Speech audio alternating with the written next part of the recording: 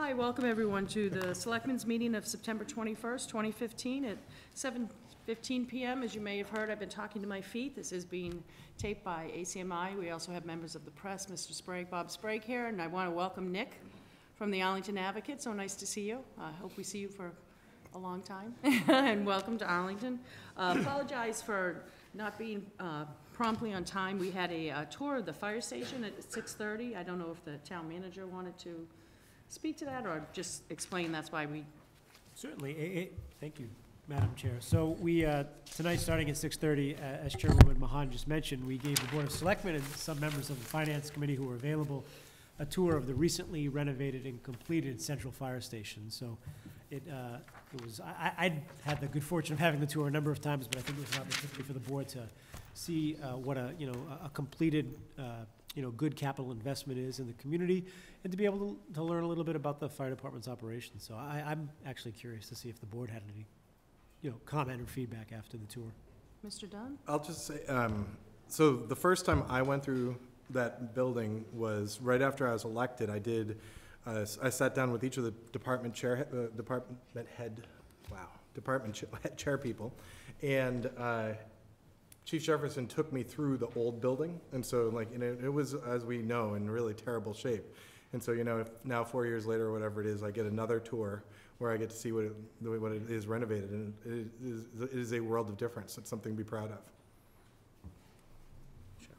Um, Yeah, no, I, I was really blown away by it as well, and um, I think uh, a, a lot of thanks does go out to the actual uh, people who are actual fire department, who, you know, as we saw, did quite a lot of work themselves in there, and um, it, it really is home to them, and it, uh, it really speaks to, um, you know, how professional a department they are, and I think they have great leadership under Chief Jefferson, so we're, uh, we're quite fortunate to have everyone there.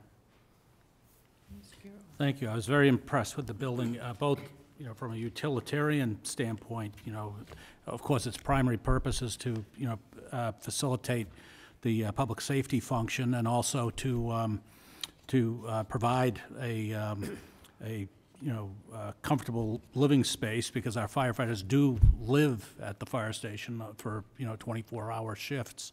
Um, But in, in addition to its primary function, um, I was just really impressed with all of the care to the, the detail. I'd, I'd encourage anyone who can see it, that the detail from the energy efficiency um, was put in, the spaces for training that have, been- that have been put into the, the station, the preservation of some of the architectural features, even though it's been thoroughly updated, some of the old architectural features, some of the art and history that are in there are amazing, and, and firefighting, you know, is a profession with a long tradition, and I think that um, our department did a great job of trying to preserve that as well, and preserve Arlington's uh, traditions in there as well, alongside the uh, primary function. So uh, thank you for facilitating it, Mr.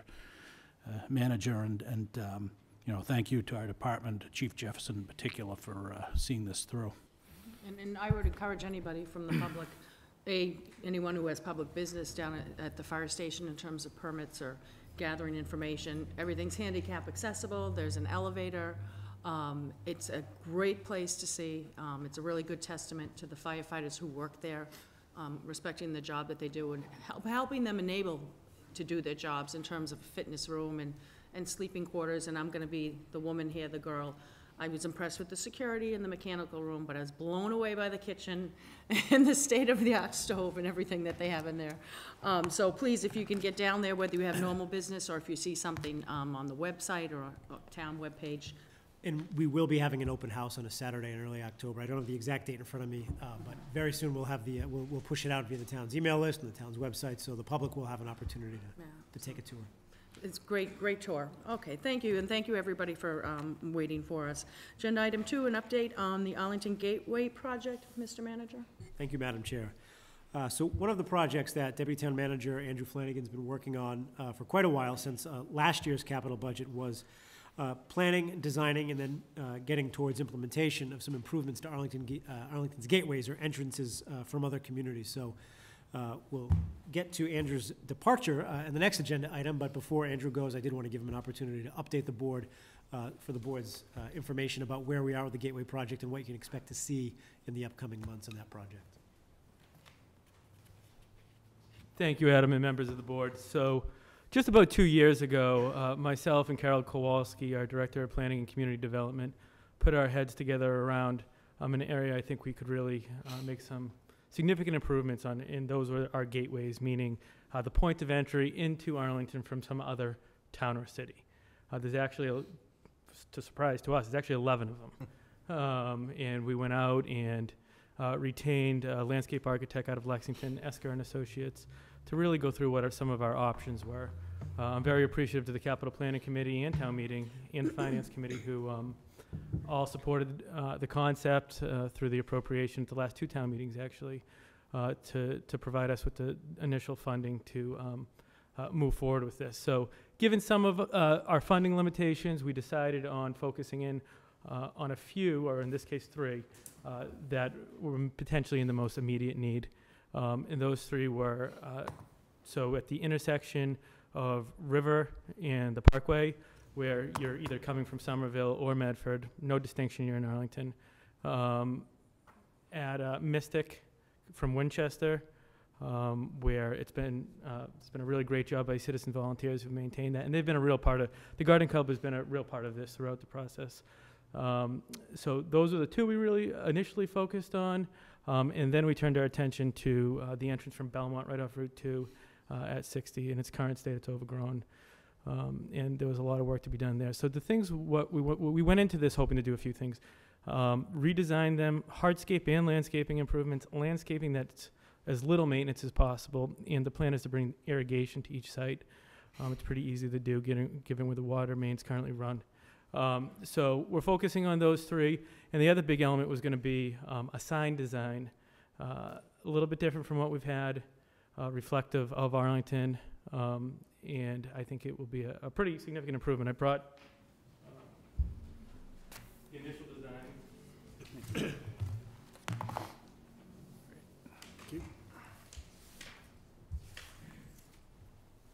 So our goal is the, the sign, um, it will, it's made of a, a specific material that won't weather, uh, like a traditional wooden sign. Um, and it will be hung on, um, two granite bollards, uh, and attached by a, a wrought iron connection. Um, our goal is to hopefully have these in, uh, by the end of the fall, uh, and then really, uh, start the irrigation and the landscape work at the best time of year to do so, which is the spring. So, as the town manager said, um, didn't want anybody to be surprised uh, when you see work happening in all these places, but I think it's going to be a positive uh, improvement for the town, so, thank you. Thank you. Any questions? Mr. Dunn? I'm curious about um, Mass Ave from Cambridge. Was that on the, I'm assuming there's a, you looked at that one? We did look at it, um, and it's part of the scope of the Mass Ave project. Oh, interesting. Um, Okay. So that's going to get done through that effort. Uh, Okay, That's why, I mean, that was probably the one in the most immediate need, um, but where it's being taken care of as part of the project, we decided to focus our attention elsewhere. great. elsewhere. That makes sense.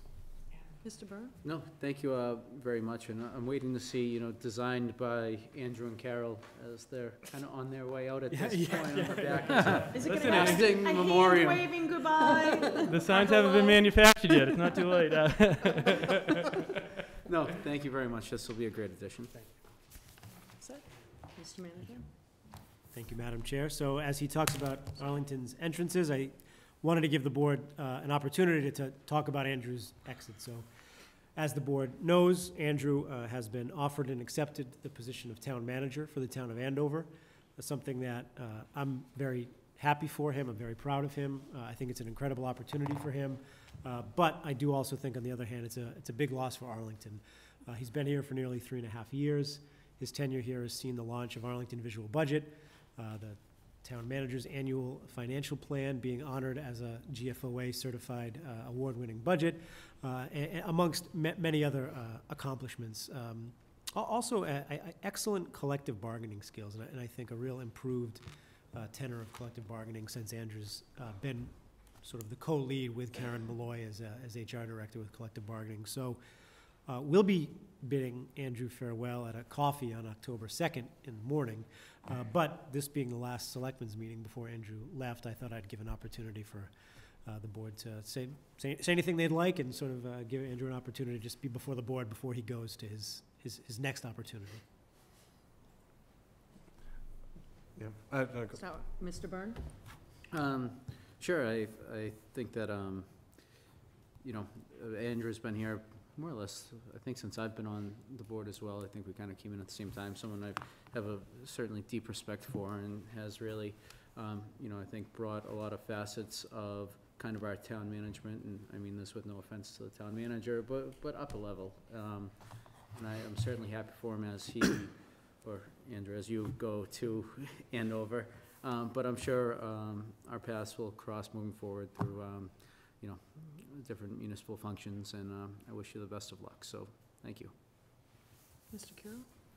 Thank you very much. I also, I want to wish you well. Um, I, I think I've appreciated kind of your soft-spoken ap- ap- approach, even under, um, you know, some stressful situations. Um, I've appreciated your input at the, um, you know, long-range um, planning uh, meetings where you're, you're asked for innumerable scenarios and financial scenarios and forecasts, and uh, you've always uh, come through, and it's really uh, informed our decision-making as well as sticking it out with us every year, um, you know, for a whole Saturday morning on, on our goal-setting sessions. I think that your in- input has been, uh, you know, invaluable, and uh, I think that uh, Andover's made quite a find, quite a catch, so thank you and good luck. I, I won't repeat some of the things that other people have said, but I will try to channel Kevin and say we'd appreciate weekly notes saying which one has the better Board of Selectmen. He's still here? Good luck. And I should say, Mr. Greeley wanted to be here, but unfortunately, he had uh, some business that took him out of town. Congratulations, um, Andrew. I want to congratulate the town manager for obviously working with someone who rose to the level that Andover was smart enough to uh, tap your resources. Um, I know they will be missed. I know you've, I think Arlington is a really good testing ground in terms of the opportunities you've had to be acting town manager. Um, and just think you're gonna have that twenty-four seven with Andover's Board of Selectmen. I know I've certainly put you through the ringer, um, so I would like to think I also helped mold you. Those calls on the off hours on the weekends. And, um, just to try to, uh, cite a case in point, um, one of your strengths, I think, for me, that I really appreciated was, and it was really kind of quiet and, and on the down low. I know recently, within the past year, we had gone through a really important hiring, um, he- here in the, in the town of Arlington.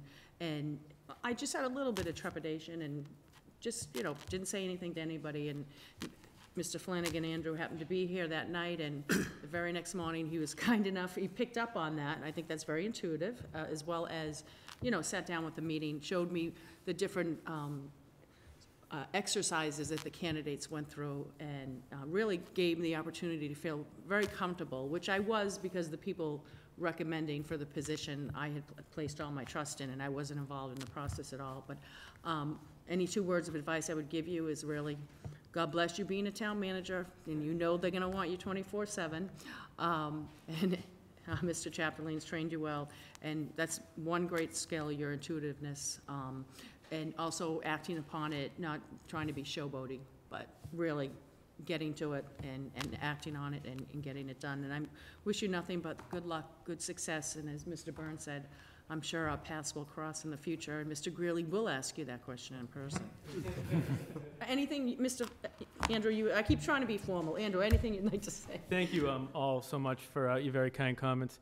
So just about three and a half years ago, uh, a three, that I stood here with this very board um, and said, and I was serious then, and I'm serious today, that Arlington is the type of town that people in our profession of municipal management want to come and work for. And that has certainly proven to be the case for me uh, as a person, as a professional, uh, to not only serve the residents of this town, but serve the board uh, and be part of um, Adams' administration here in Arlington you know, what I've taken away from everybody, um, but particularly uh, Adam, is a, a lot of um, great, great tutelage over the years that uh, I think without, I don't know if I'd be in the position I am today uh, to go lead um, Andover. Uh, so thank you all very much. I also want to um, just uh, shout out real quickly to the senior management team, the department heads, and all the staff uh, in Arlington. Uh, they have supported me uh, through everything uh, since I've been here, and uh, they're a great staff, and uh, the town is certainly lucky to have all of them. So, thank you very much. Okay, good luck. Very happy for you. Ni-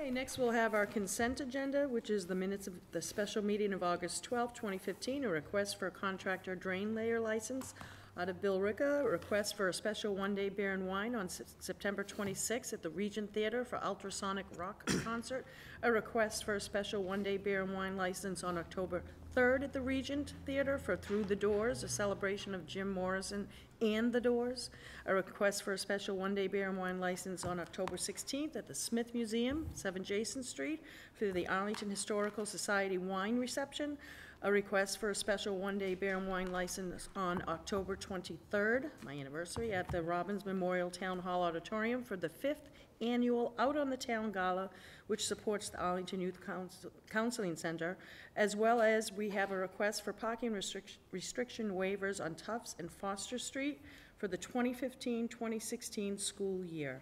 First, could I get a motion to receive? Move approval, subject to all conditions set forth. Moved by Mr. Curro, seconded by Mr. Byrne. Uh, First for my colleagues, any questions regarding the minutes? Uh, Is there anyone here from the public to speak to any of the uh, events that I cited for the special one-day beer and li- wine license, or the contractor drain layer license, or the Tufts and Foster Street parking request waivers? If not, any further discussion, all in favor say aye. Aye. All opposed, it's a unanimous vote. We now are going to go to a public hearing for the request, for a theater license, wine and malt, for the Medford Street Theater, Inc., doing business as Regent Theater, 7 Medford Street, Leland Stein, and Richard Stavros. Um, Are either of those gentlemen here? If you could come to the microphone?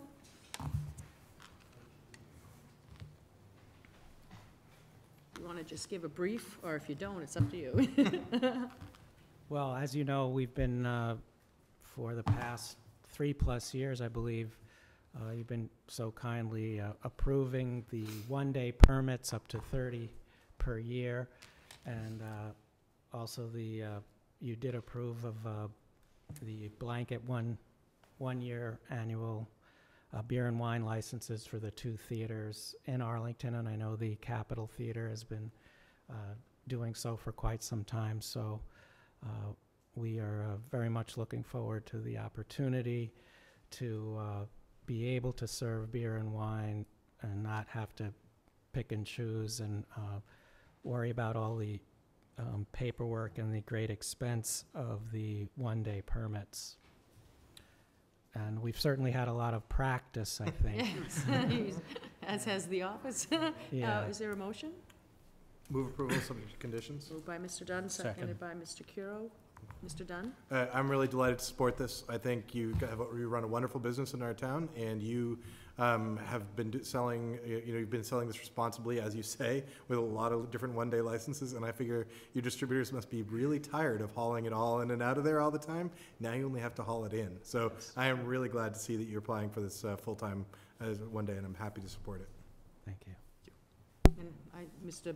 Curro, sorry. I- I'm happy also to see you applying for it as you come up on your centennial, so, or centenary, I guess is, look at it, your centennial celebration of the theater, so good luck with this. Further questions, comments? Happy to support this. Okay, on a motion by Mr. Dunn, seconded by Mr. Curro. All those in favor say aye. Aye. Aye. All those opposed, unanimous vote. Thank you. Thank Thank you you. so much. Thank you very much. Uh, We also have a request for a wine and malt license, RJM Inc., doing business as Sugo Cucina Italiana at 162 Mass Ave. Uh, Josephine Maniscalco and Rudolph, are either of them here?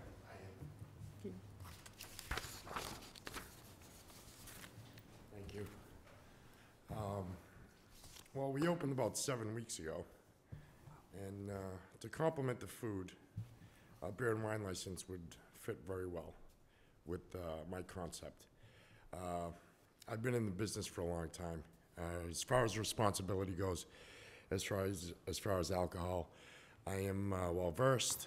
Uh, I was certified in tips training, but I need to get recertified, which I will. Uh, My staff will be trained accordingly. Um, I won't be open late hour. Um, I think it's just something that would uh, enhance my business and the uh, concept that I'm trying to bring to Arlington. Okay. um, Mr. Dunn? Uh, So I'm happy to support it, but I just do have one thought of caution and and advice for you. So we, uh, as you probably know, annually, the police department does, goes out to all the restaurants and, and package stores and does a sting operation. And the ones that fail are inevitably ones that have hired a new employee and do not have a rigorous training program for their new employees. And the number of times that someone has stood at that microphone and said, they started and we're gonna train them next week, but we didn't get around to it. And so it isn't gonna be that you're serving someone underage next week or the week after. It's gonna be in three, uh, I mean, if you, if the mistake happens, it'll be in three years or five years. And so we've had a number of um, restaurants who I think have had a lot more success with a written training program that they go through and they do like, you know, like a- some form of a test with each new Yes. employee or something like that. And so I really encourage you to do something like that with your program and then stick to it such that we can only see you at your restaurant and never here. Right, well, it's I'm very methodical when it comes to things like that, especially training. Uh, I've been in the business for a long time, and as far as management goes, uh, I had a rigorous training at my previous position. I was a general manager. And it's something that needs to get done, and something that will be inherently uh, with every new employee. It's, it's detrimental to, to a business if you neglect that cert, that uh, aspect of any, of anything when you're serving alcohol, or whether it be malt or, or beer, uh, malt or wine. Um, and it's something that I've been trained for in the past, and that's something I'm not going to let let slide. Because it's like I said, it's detrimental to my business if, if it does occur. So that's something I won't let Thank you. Excellent. Um, Was that a motion? Uh, move approval, subject to all conditions, including tips training. Is there a Second, pl- thank you. Mr. Byrne? Um, Any further No, discussion? I would just echo Mr. Dunn's sentiments. Sure. Um, My family's in the restaurant business, business, Chateaus, Noceras. Um, Ideally, and it's not required with your application, um, but what we've seen that Mr. Dunn spoke to is really having a multi-page um, sort of training um, packet that you give to each new employee Right. have them sign it, as well as, depending on how busy you are, at least monthly or once a year at your s- annual staff meeting. Right. Even the people that have already been, you know this, um, go over it again and sign again.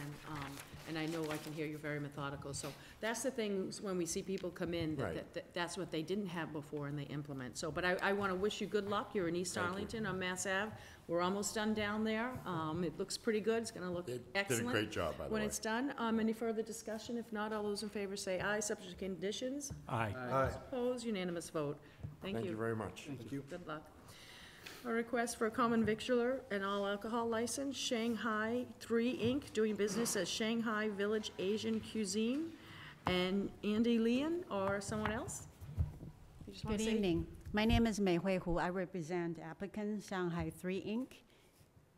Standing next to me is Andy Liang. He is the uh, pr- president and also treasurer and um, also holds uh, 40% of the share uh, interest in the new corporation. He's also the proposed manager, so he is tip certified and he has, uh, we just have a brief brief discussion just now. He also talked about he would implement procedures to train the staff. Um, he has worked, Mr. Andy Liang has worked in the uh, restaurant industry for over eight years.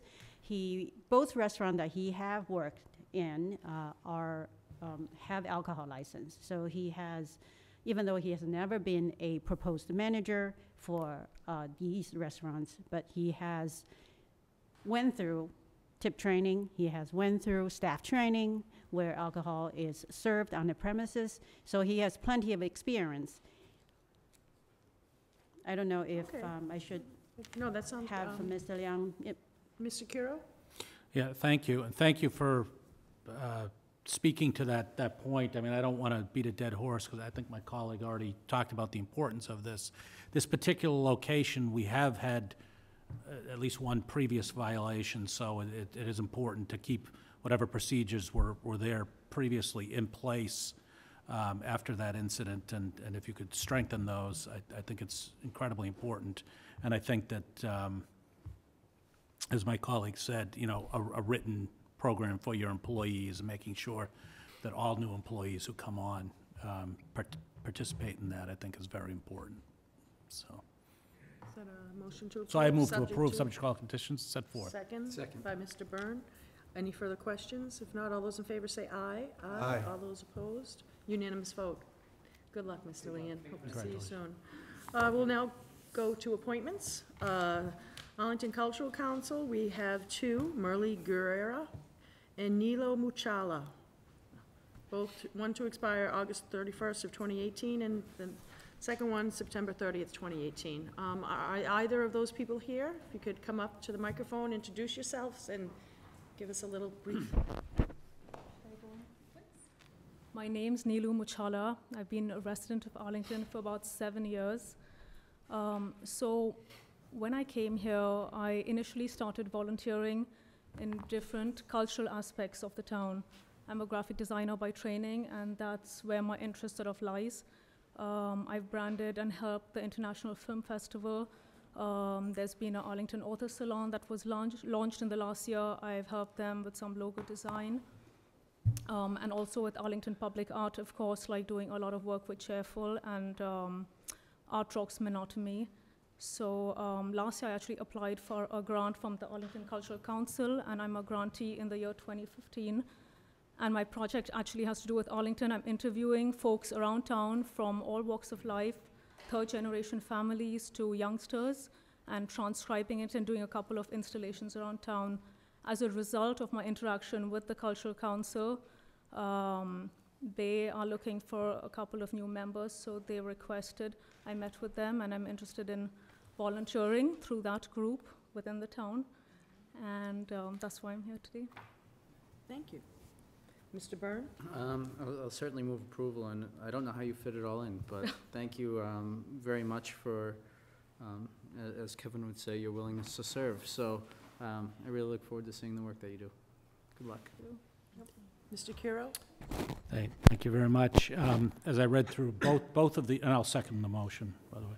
Um, As I read through both of these applicants' CVs, I've- I've, enjoyed their uh, visual art and performing arts uh, ver- very much. Um, And I know that uh, uh, our next applicant also brought some great, um, you know, honor on, on, on the town for, for the performance up at the uh, Park Circle Water Tower and, and on yourself. And all I could think when I read these CVs is, how are we so fortunate to have this, this caliber of uh, applicant coming to, to serve for us? So that's all I wanted to say. So Thank you for applying, and thank you for your willingness to serve.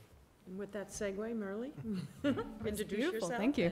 and- Great. Well, hi, I'm Marilee Viguera, and I actually haven't been a resident all that long. Um, two weeks after I moved in to Arlington back in 2013, I realized that I lived next to this gorgeous water tower, and I knew I had to do something with it. So I jumped into the strangest application that I've probably ever written or the town has ever received. Um, I created a whole bunch of permits that didn't exist before. I'm now friends with the Arlington Fire Department, the police department. You, of course, were so helpful as well. Um, so no, we were we were very very fortunate to have a project be in a town that was so welcoming of such an interesting uh, collaboration of the community's artwork and video projection and dance and music to put it all together into what was Night at the Tower last year, ac- actually exactly a year ago in 2014. Um, and then earlier this year, we were notified that it was chosen as one of three projects out of 5,000 across the state last year to receive the Gold Star Award from the MCC. So that was really wonderful. Thank you. Well, thank you. Honestly, it was um, a pleasure to bring it to so Arlington. work. hey, if ever you need to write a permit, I will help. Um, but but honestly, it was such a wonderful welcome to the community for myself, and then to have the Arlington Cultural Council approach me about joining them for this three-year term. I couldn't think of anything more that I would want to do beyond being able to be a liaison for the folks that are coming in and say, "Oh, you need a permit? Okay, let me help you with that." so thank you so much. Thank you. Uh, Move approval. Okay, uh, seconded by Mr. Byrne. All those in favor say aye. Aye. All those opposed, a very unanimous vote. Uh, Another appointment to the Cemetery Commission, Brian Hasbrook. Good evening. Hi, I'm Brian Hasbrook. Um, Thank you to the board for having me here. Thank you, Mr. Chapdelaine. Um, So I've been a resident of Arlington for 32 years, and Um, I moved to the c- uh, cemetery neighborhood about uh, five years ago. I'm on Sherborne Street, I'm in a butter. And uh, before that, um, I was active as a volunteer on the Vision 2020 Reservoir Committee, and there was one day around 15 years ago where we took sort of an education walk down, all the way down Millbrook, to see where it meets the Mystic, the lower Mystic uh, Lake. And that took us through the cemetery, so that was the first time I saw it, and I really thought, well, this is a really special place, and it completely surprised me because I didn't know it even existed in town. Um, so since then, I've done other volunteer activities. I'm, I've been on town meeting for, oh, about four, four years now. Um, and, uh, I've, I've been curious about the cemetery operation. I've been to a couple of, uh, meetings of the Cemetery Commission, and I've been very impressed what I've saw with the level of volunteer support that the commission gives the town. Um, so when the uh, vacancy arose, I thought, well, maybe I can make some contribution uh, as well. Um, so that's why I'm, I'm here tonight. Thank you. Move approval. Move approval by Mr. Burns, seconded by Second. Mr. Curro. Mr. Dunn? Uh, Thank you for joining, and thank you for your willingness to serve. The Cemetery Commission ends up being, uh, ground- is going to be at the pointy end of one of those difficult decisions we've got coming up, because we are running out of room for the, as you know, I'm sure, for uh, traditional burials. And the land to fix that is not, you know, cheap, and so we're going to need to come up with creative solutions that are also palatable to town meeting, as you, you also know has been a challenge. So I, I definitely wish you luck and offer your, uh, you know, our support in creative solutions that, uh, to, you know, manage the space problem that we've got coming up. Oh, thank you. I appreciate that advice, and I agree, and I'm, I have a lot to learn about the history of uh, the cemetery and that particular problem, but I'll, I'll be thinking a lot about that. Okay, uh, any further questions on a motion by Mr. Burns, seconded by Mr. Curro? All those in favor say aye. Aye. All those opposed? Again, a very unanimous vote. Thank you Thank you so much.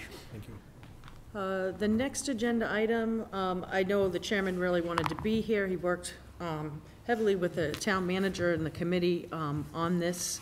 Um, And I'm not going to be able to impart any of his wisdom and knowledge that he gained along the way. I'm going to let the town manager do this, but this is for approval, board board appointments to the CPA, CPC, Community Preservation Committee. Mr. Chapdelaine? Thank you, Madam Chair. So, as the board knows, uh, we are establishing, uh, as a town, the first Community Preservation Committee uh, now. And uh, after passage this spring at town meeting, the board has four at-large appointments to this committee. Uh, So the process we followed uh, was to solicit applications, uh, of which I believe we actually, I had been using the wrong number, we'd received 21 applications. This board appointed a five-member screening committee, with each board member appointing one of those members. Uh, Using a number of criteria, uh, town experience, financial experience, other areas uh, relative to the Community Preservation Act, uh, that screening committee narrowed those original applicants down to nine applicants. Uh, Those nine were then interviewed via phone, excuse my, my cold, for 15 minutes each by Chairman Greeley and I. And I, I would say from the original pool down to the pool of nine, uh, this was probably the toughest choice uh, that I've had to make in terms of volunteers who want to serve and telling excellent volunteers no. Uh, You know, we, we have other people whose service uh, that we, we want. Uh, And, and I think that's just a testament to, to Arlington as a whole, but also to the people who applied and showed interest in this. Uh, So before you tonight are the chairman and I's recommendations to you for consideration for appointment. So you have the memo before you Clarissa Rowe, David Levy, Eric Helmuth, and Andrew Bankston. Excuse me. Uh, What is not contained in the memo is recommended uh, term length. Yes. Uh, What we're recommending is Clarissa Rowe for the one-year term, Eric Helmuth and Andrew Bankston for the two-year terms, and David Levy for the three-year term. I believe all four of the candidates are here tonight, and I, I know this is a big decision for the board, but uh, speaking for myself, and as much as I can speak for the uh, Chairman Greeley, uh, we very much hope the board will approve our recommendations. Okay, if I could, I do see the four individuals here. Um, If you could come up and, we all know you, um, because you're s- certainly very involved with the town, but for everybody watching at home, and whatever you'd like to impart in terms of um, your service on the CPC or advice to the rest of us that are going to, For some reason, they elected to have me come first. shocking. Um, The, I think the Community Preservation Act is a wonderful addition to the town. I think it's going to help um, take care of some needs in town with affordable housing, historic preservation, and open space and recreation that I won't say not all of them have been underfunded, but they have been somewhat underfunded. Um, From my personal um, view, I have been working on this since the 1990s statewide. And I'm really happy that my own town has finally elected to be part of this group. And I'm very excited. I, I'm looking forward to being, a, being on this committee. I'm going to retire from a couple of other committees, so I can just focus on this one um, for one year, as Adam said. And I guess one, no, I won't, no. Anyway, I think it's a tremendous opportunity, and I'm really happy that the three gentlemen behind me are also serving with me, because I think we can work very cooperatively. Thank you, Ms. Rojo, our former and still current colleague in our hearts. Hello, Eric Helmuth, Precinct 12. So I was really inspired by the voters' decision to make an investment, because I think that's what the CPA fundamentally is, and it's a different kind of investment. Um, as Clarissa said, it's an investment in things that, for the long term, make Arlington a great place to live and will continue to make, a, make it a great place to live, but that are difficult to fund in the short term. And the fact that the uh, citizens, the voters, the taxpayers decided to, to do that, I think was inspir- inspiring to me and inspired me to want to serve, primarily to listen and to learn, um, which sounds a little Pollyannish, but I think that's what the CPC needs to do, to really listen to what the needs are, what those longer term needs are, with the sensitivity to what the short term financial practicalities are, and find a way to, to merge the two in a way that respects the integrity of the intent of the CPC and what we need to do to be fiscally responsible. So I think it's a fascinating challenge. I look forward to learning a great deal from the other committee members who have deep expertise in each of these three areas, and um, appreciate it.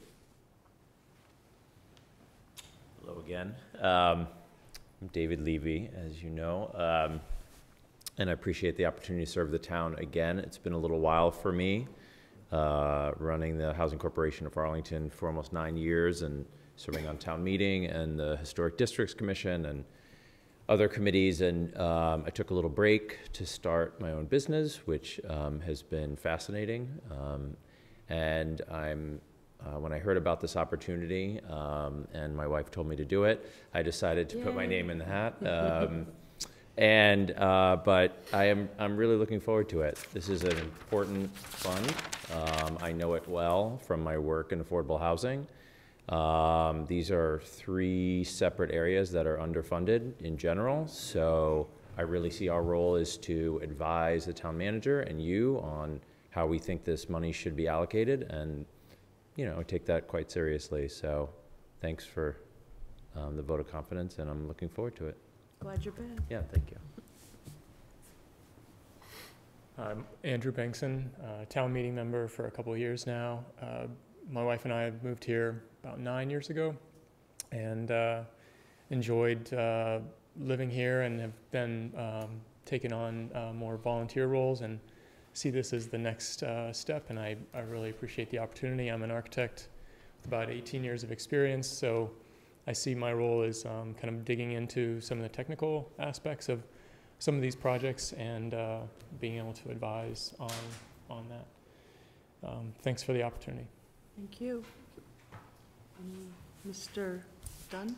Uh, I'm going to move approval.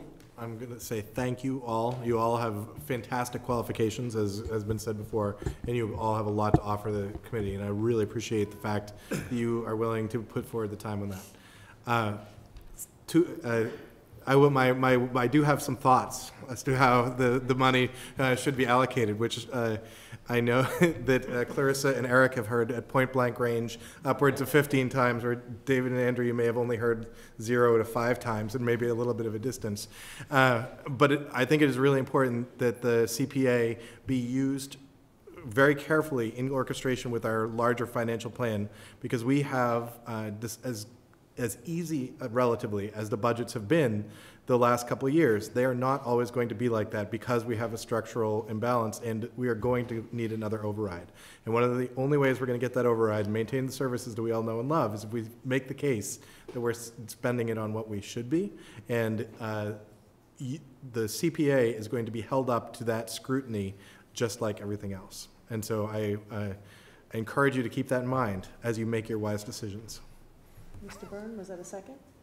Um, I, I will certainly second it, and, um, um, thank you all very much, uh, again, I know, um, I, I don't know if I'll, I'll go the direction Dan went with that, but I, I certainly appreciate, um, I certainly appreciate his comments and, and- and deeply respect them, but I, I think what I want to, uh, really point out is the process that kind of everyone went through to be on this committee.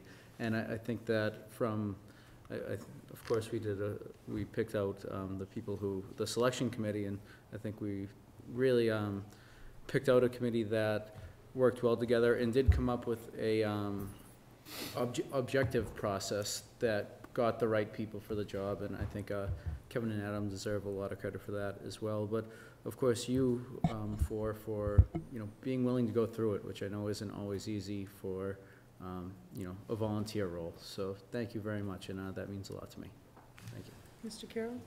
Th- Thank you, thank you, Madam Chair.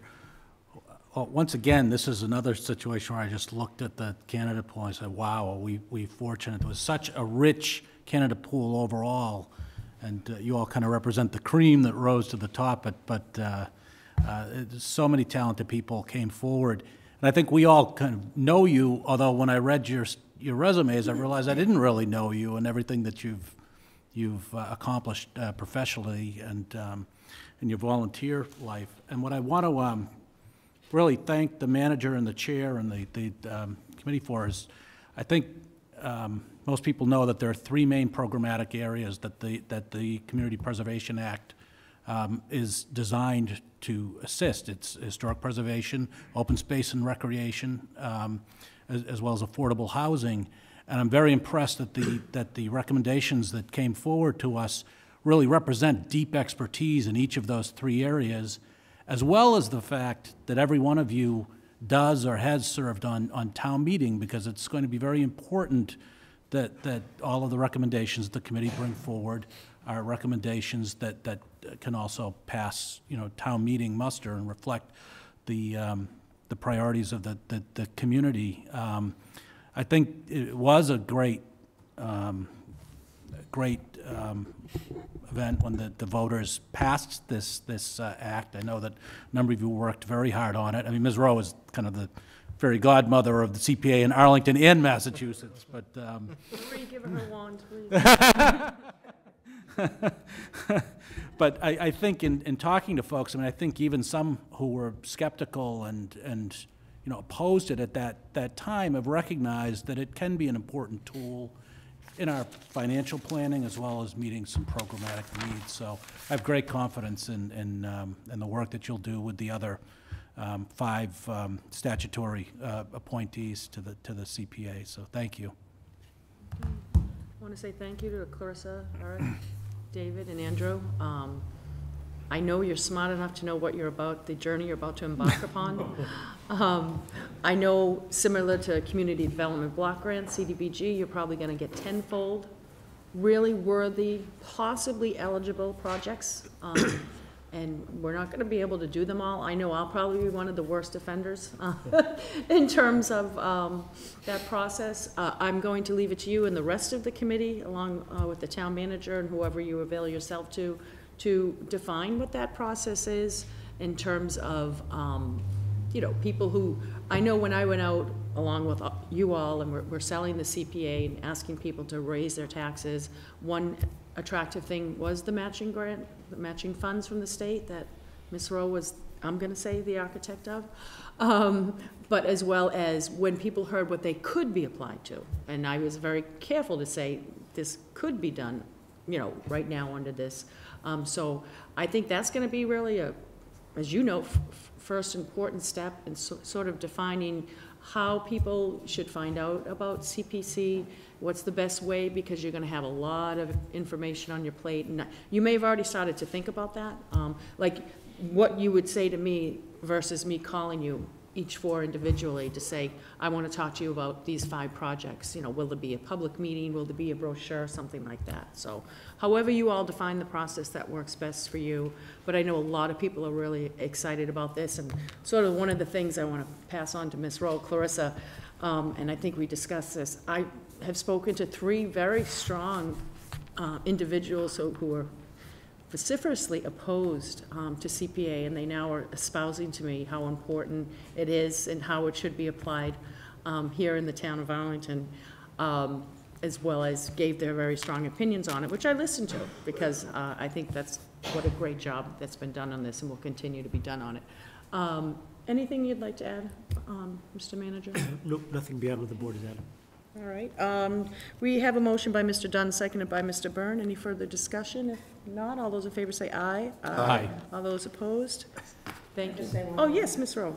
I, I think, I just want to reiterate two things. One, as Dan knows, the, the um, bylaw that was passed at town meeting asked that we would have some um, oversight by the capital planning committee and also by the selectmen and the finance committee, and we welcome that. Um, But as Eric said, I think certainly the first year is a year of listening. And the public, having public meetings, um, real outreach, doing some inventory work really makes a lot of sense. The Community Preservation Coalition will actually come to town and give us for free a training session, which I think would be really great. And then also if the Capital Planning Committee and the Finance Committee and the select people want to come to that training, I think it would be a great idea. Um, And I think the other thing, for people that are interested, go to communitypreservation.org. There's a tremendous website that gives you projects from all over the Commonwealth um, for the last 15 years, and projects that, it'll show you what's eligible and the different um, uses. And one of the best ways the act is used is when it combines uses. So it's open space and affordable housing. And, you know, that's, that's the kind of thing. So thank you very much. We really appreciate your um, confidence in us. Thank you. Mr. Chapdelaine? Uh, Town counsel reminded me the bylaw actually uh, requires me to vote as part of this too. Uh, So, aye. Uh, And, uh, Actually, in the interest of, uh, I'd like to retake that vote uh, made by Mr. Dunn, seconded by Mr. Byrne, on behalf of the fo- four members of the Board of Selectmen and the town manager. All those in favor say aye. Aye. All those opposed? Unanimous vote. Mr. and then the other point I neglected to mention was myself and Chairman Gre- uh, Greeley will facilitate calling the first meeting uh, of the Community Preservation Committee. We'll pool everybody's dates, uh, set up an organizational meeting, and then the committee can figure out what day is best for the committee members to meet and set a schedule going forward for the rest of the fall and winter. Can I ask just a quick question? Uh, If you don't have a quick answer, we can, the other members of the CPC, are they designated, soon to be designated, or we're waiting? Some have been, some should be very soon. Do we have a deadline date, or no? We're just gonna wait You till know, we I get to haven't set a nine? deadline, but it- it's about time that we Okay, do so that you deadline. can let We us, actually set a deadline, I believe, it was like N days after uh, the. The Attorney appro- General. The AG approved it, and I don't know what day the AG That was approved for it. us, though. Was that for the all five? I- Yeah, I thought that was was just for for our uh, purposes. but I'll not leave it theirs, to you but- to sort of, you know, and work with our four members to say, you know, what should be a deadline, you know, barring any emergency circumstances, but, um, like to get, you guys have a lot of work. Okay, um, Mr. Curro, sorry. To, to Mr. Dunn's point, ha- has the AG approved it? Yes, they have. We're all set, okay. Okay, awesome. Thank you very much. I know we'll be seeing a lot of you. And I'd be interested in that training. If I can make it, I'll be there. Thank you so much. Uh, Next, we have uh, Agenda Item 17, a request for a food vendor license, YRCH, doing business as Fenway Market. Ubaraj, wait, Ubaraj Shalagian. I did my best. I, now, you say it correctly, so I, Good evening. Uh, my name is Yubraj Chaulagan. Uh, I'm trying to run the business that already, you know, running in the 203 Broadway. This is a small convenience store, and I'm in this business for last five years, and I would love to run that business so I request for the food vendor license for that one. Thank you. Thank you. Um, Mr. Dunn? I've got, a- so can you tell me, uh, so have you worked at, you've been working at this particular location, or you're No, involved? not, or- not the particular location. I have a, another business in Somerville. Yeah. So I used to work in Arlington too in uh, mass convenience. And so did you have a relationship with the previous owner, that you would worked with them before, or was it just like, it went, the business went on the market and you obtained it, or, can you tell me more about the transaction? Uh, this uh, business, uh, I don't, you know, I did not know the owner. So I stopped by one day and he, I think he recently bought that business and he was not uh, like the really, you know, interested to run that business. So I asked him if I was interested for that business before he purchased that one. And he told me if you want, you can, you know, buy it. So I, re, you know, I just requested him, I, I would love to run this business. I love Arlington town. I have one business in Somerville, but I love this town too. So I used to work in uh, mass convenience in 245 Mass Ave more than four, five years. Okay. So that's, that's what it is. Thank you. Thank you. Uh, move approval, subject to conditions. Moved by Mr. Dunn, Second. seconded by Mr. Curro. Um, Any questions? Mr. Byrne? I don't have any questions, but I, I do appreciate you wanting to come here, that you just popped into a store and, you know, offered to buy it essentially, so I think that's pretty cool, so I wish you the best sir. of luck. Thank you, thank you, sir. Thank you, thank you. And I, I would just say, you know, similar to quite a number of businesses in Arlington, you are in a residential area, um, and I know you're a smart businessman, and you also know the tenor of Arlington.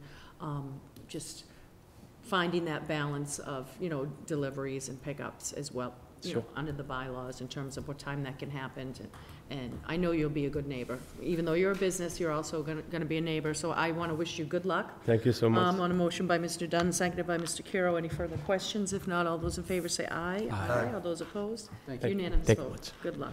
We have a request for a common victual license. Han Kaya Inc., doing br- business as Brickstone Cafe, Bedros Kaya.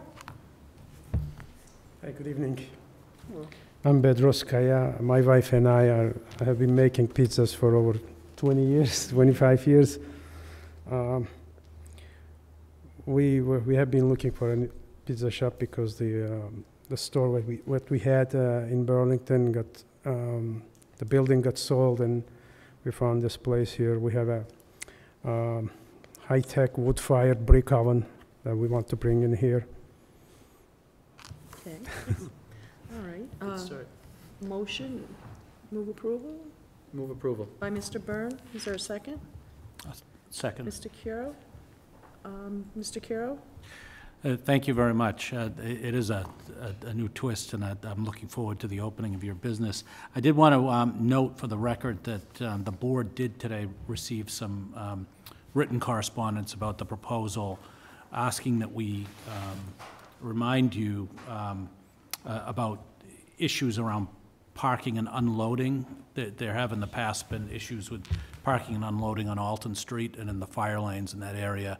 That's It- right. It is very important that you, that you uh, unload behind your business rather than out on, Yeah, on I, I've Alton. been, I've been noticing that uh, there are businesses in the same block, Yeah, so so it's very important. I'm important. well aware of that. Yeah, thank you. Mr. Dunn? I think the other aspect of that has been uh, the, the time that the deliveries come and, Right. and the noise associated with it. Because that So- definitely is a place where the commercial district and the residential district are, you know, separated by 18 feet or something like that. And There's definitely some friction there. Yes. So I think uh, some, some sensitivity and some communication on the part of the businesses there will help the situation in the long run. So uh, you definitely, I think you've got some frustrated residents on that street, so you've got a little bit of uh, repairing of perhaps of relationships there. Not that it's your fault, but it's the situation that you're arriving in. And so I think that the more you do to reach out to those neighbors and welcome, you know, uh, you know, see what you can do to make them feel better, I think would be, uh, it'll earn you dividends in the long run. I understand that. Thank you. Awesome. Okay, uh, motion by Mr. Burns, seconded by Mr. Curro. Any further questions or comments? If not, all those in favor say aye. Aye. Aye. All those opposed? Unanimous vote. Good luck. Good luck to you. There's the brains behind the brawn.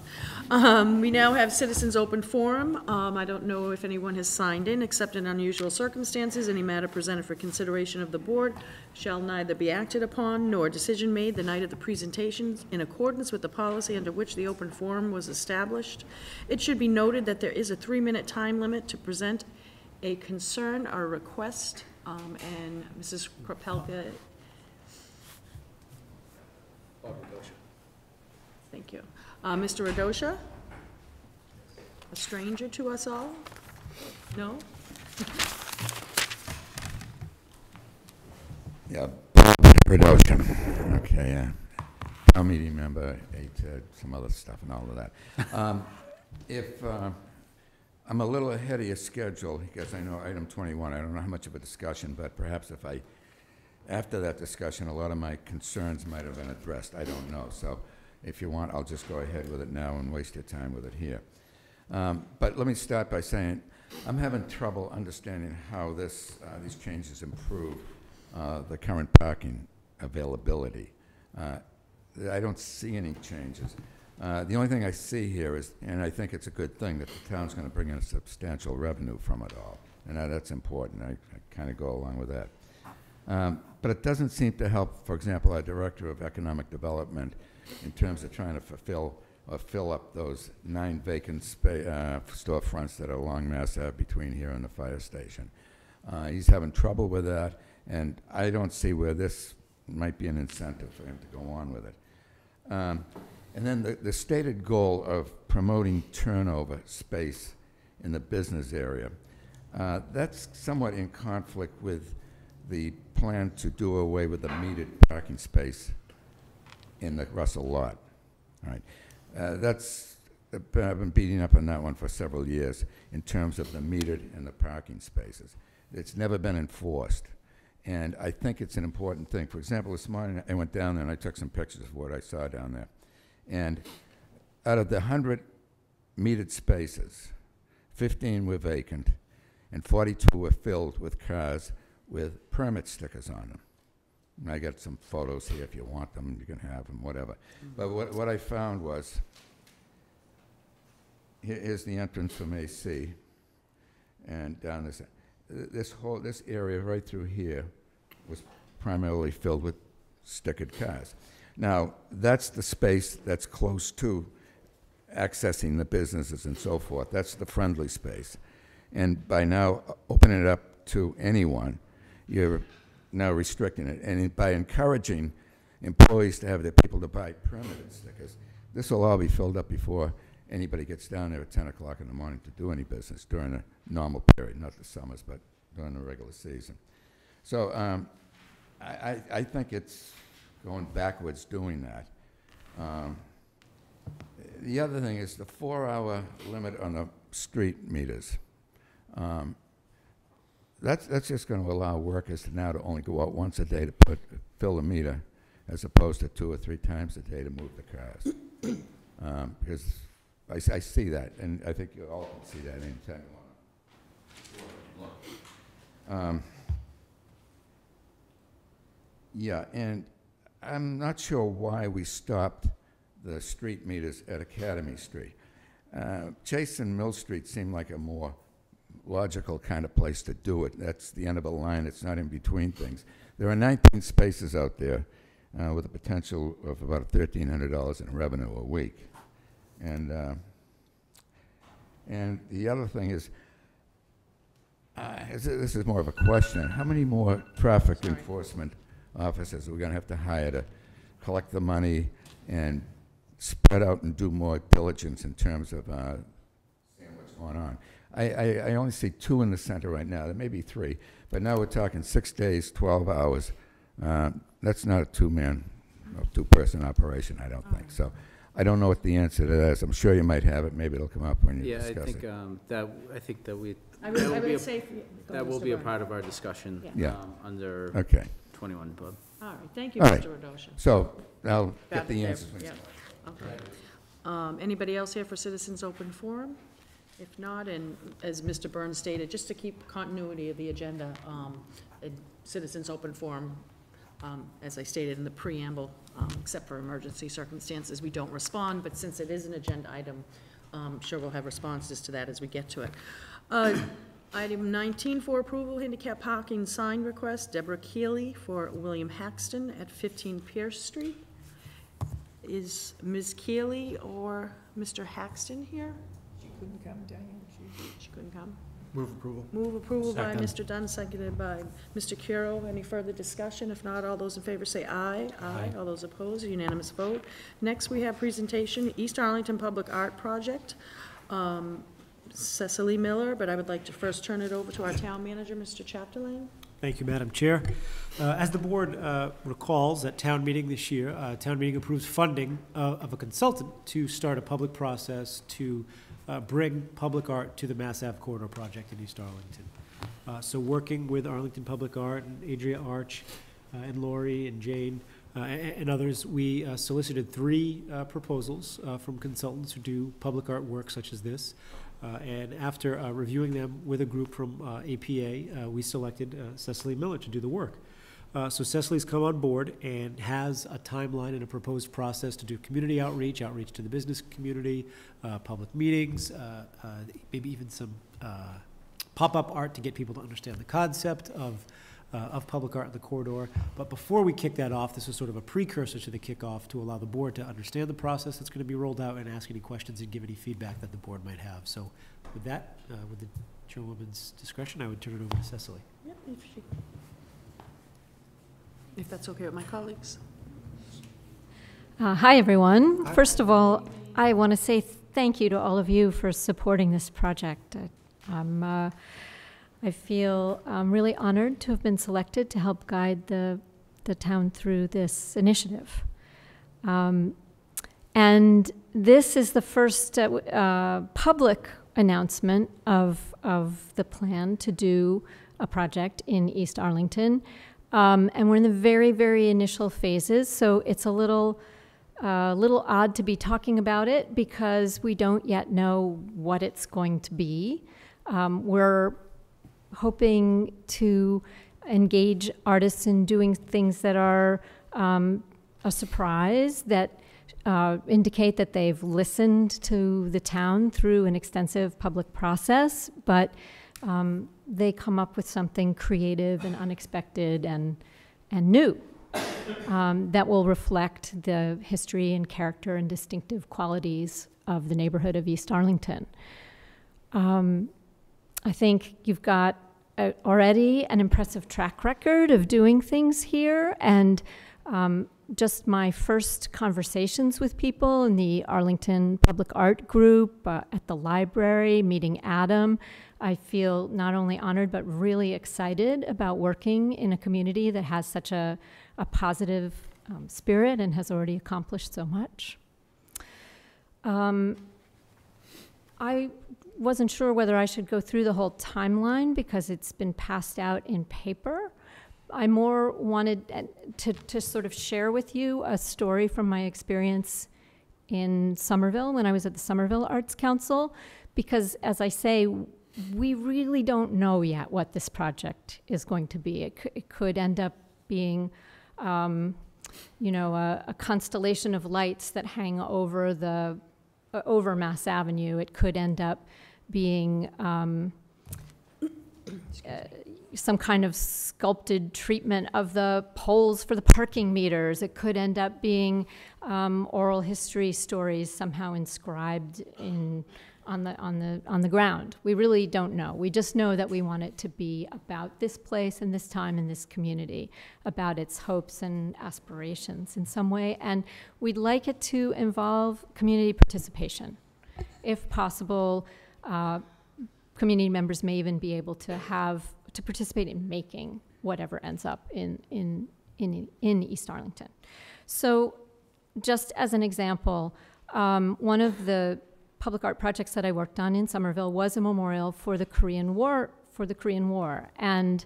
Um, the very first meeting, a group of Korean War veterans came in and they had photos of memorials from various towns. And they threw their photos down on the table and they were like, We want uh, a base like this, this uniform, but the person in this uniform would never be carrying this tool, so we want to make sure that they're carrying the correct tool.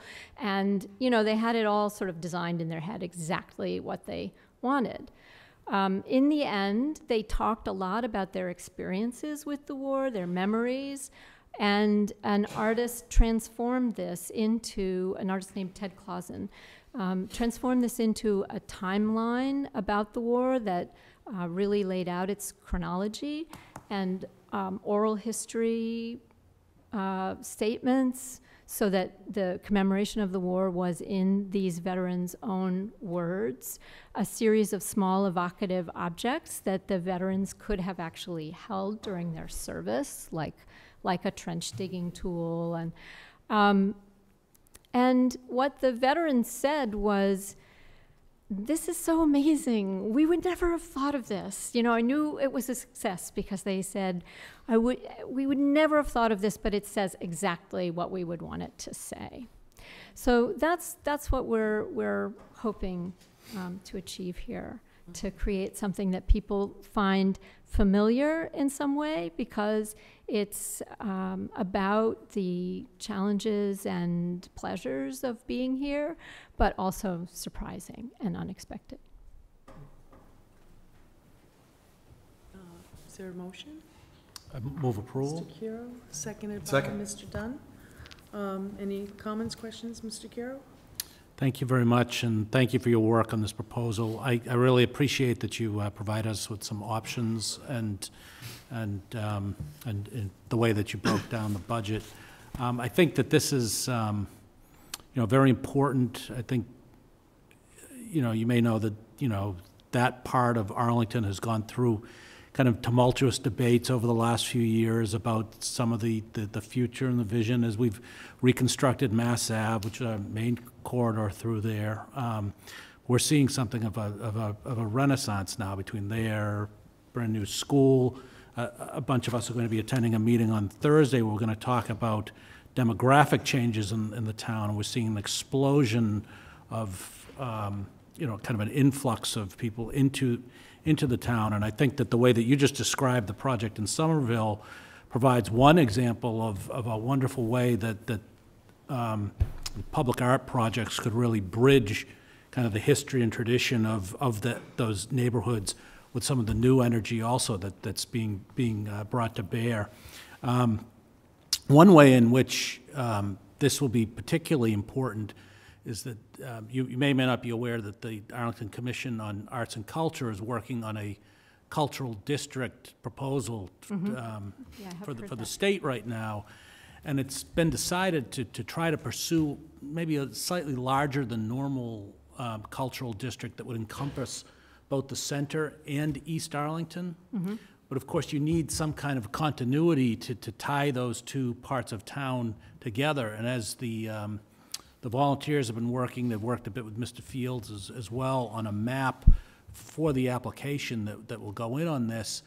There have been some holes in there, and, and um, the proposal to, to kind of institute some new public art projects along um, Mass Ave in that area really has filled those, those gaps, I think, in the proposal and is going to help to make it a successful proposal. So this is incredibly important on, on so many um, uh, levels, I think. So, um, you know, I don't know what your thoughts are about, about how this will uh, kind of uh, help us to tie together the, the, the two parts. I know this is focused on East Arlington, but your thoughts on kind of tying together um, two important parts of town through this initiative.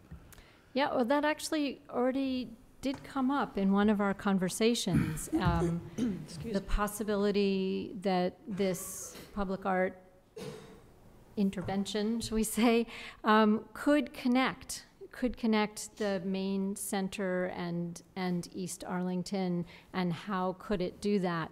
So what we'll do is have a lot of conversations like this, where Yeah. people say, this could be a goal, a, a, you know, a, a very significant accomplishment if the, if the public art project could do this, if it could, um, you know, knit these two areas together, connect them together by well, we won't say by what means, but by some, some means. And then that's a problem there that an artist can work on and can think about, and it's sort of grist for the mill.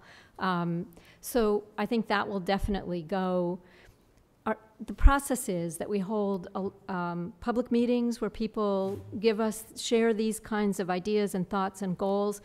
Um, we convene a, a community advisory group and continue those discussions with that group.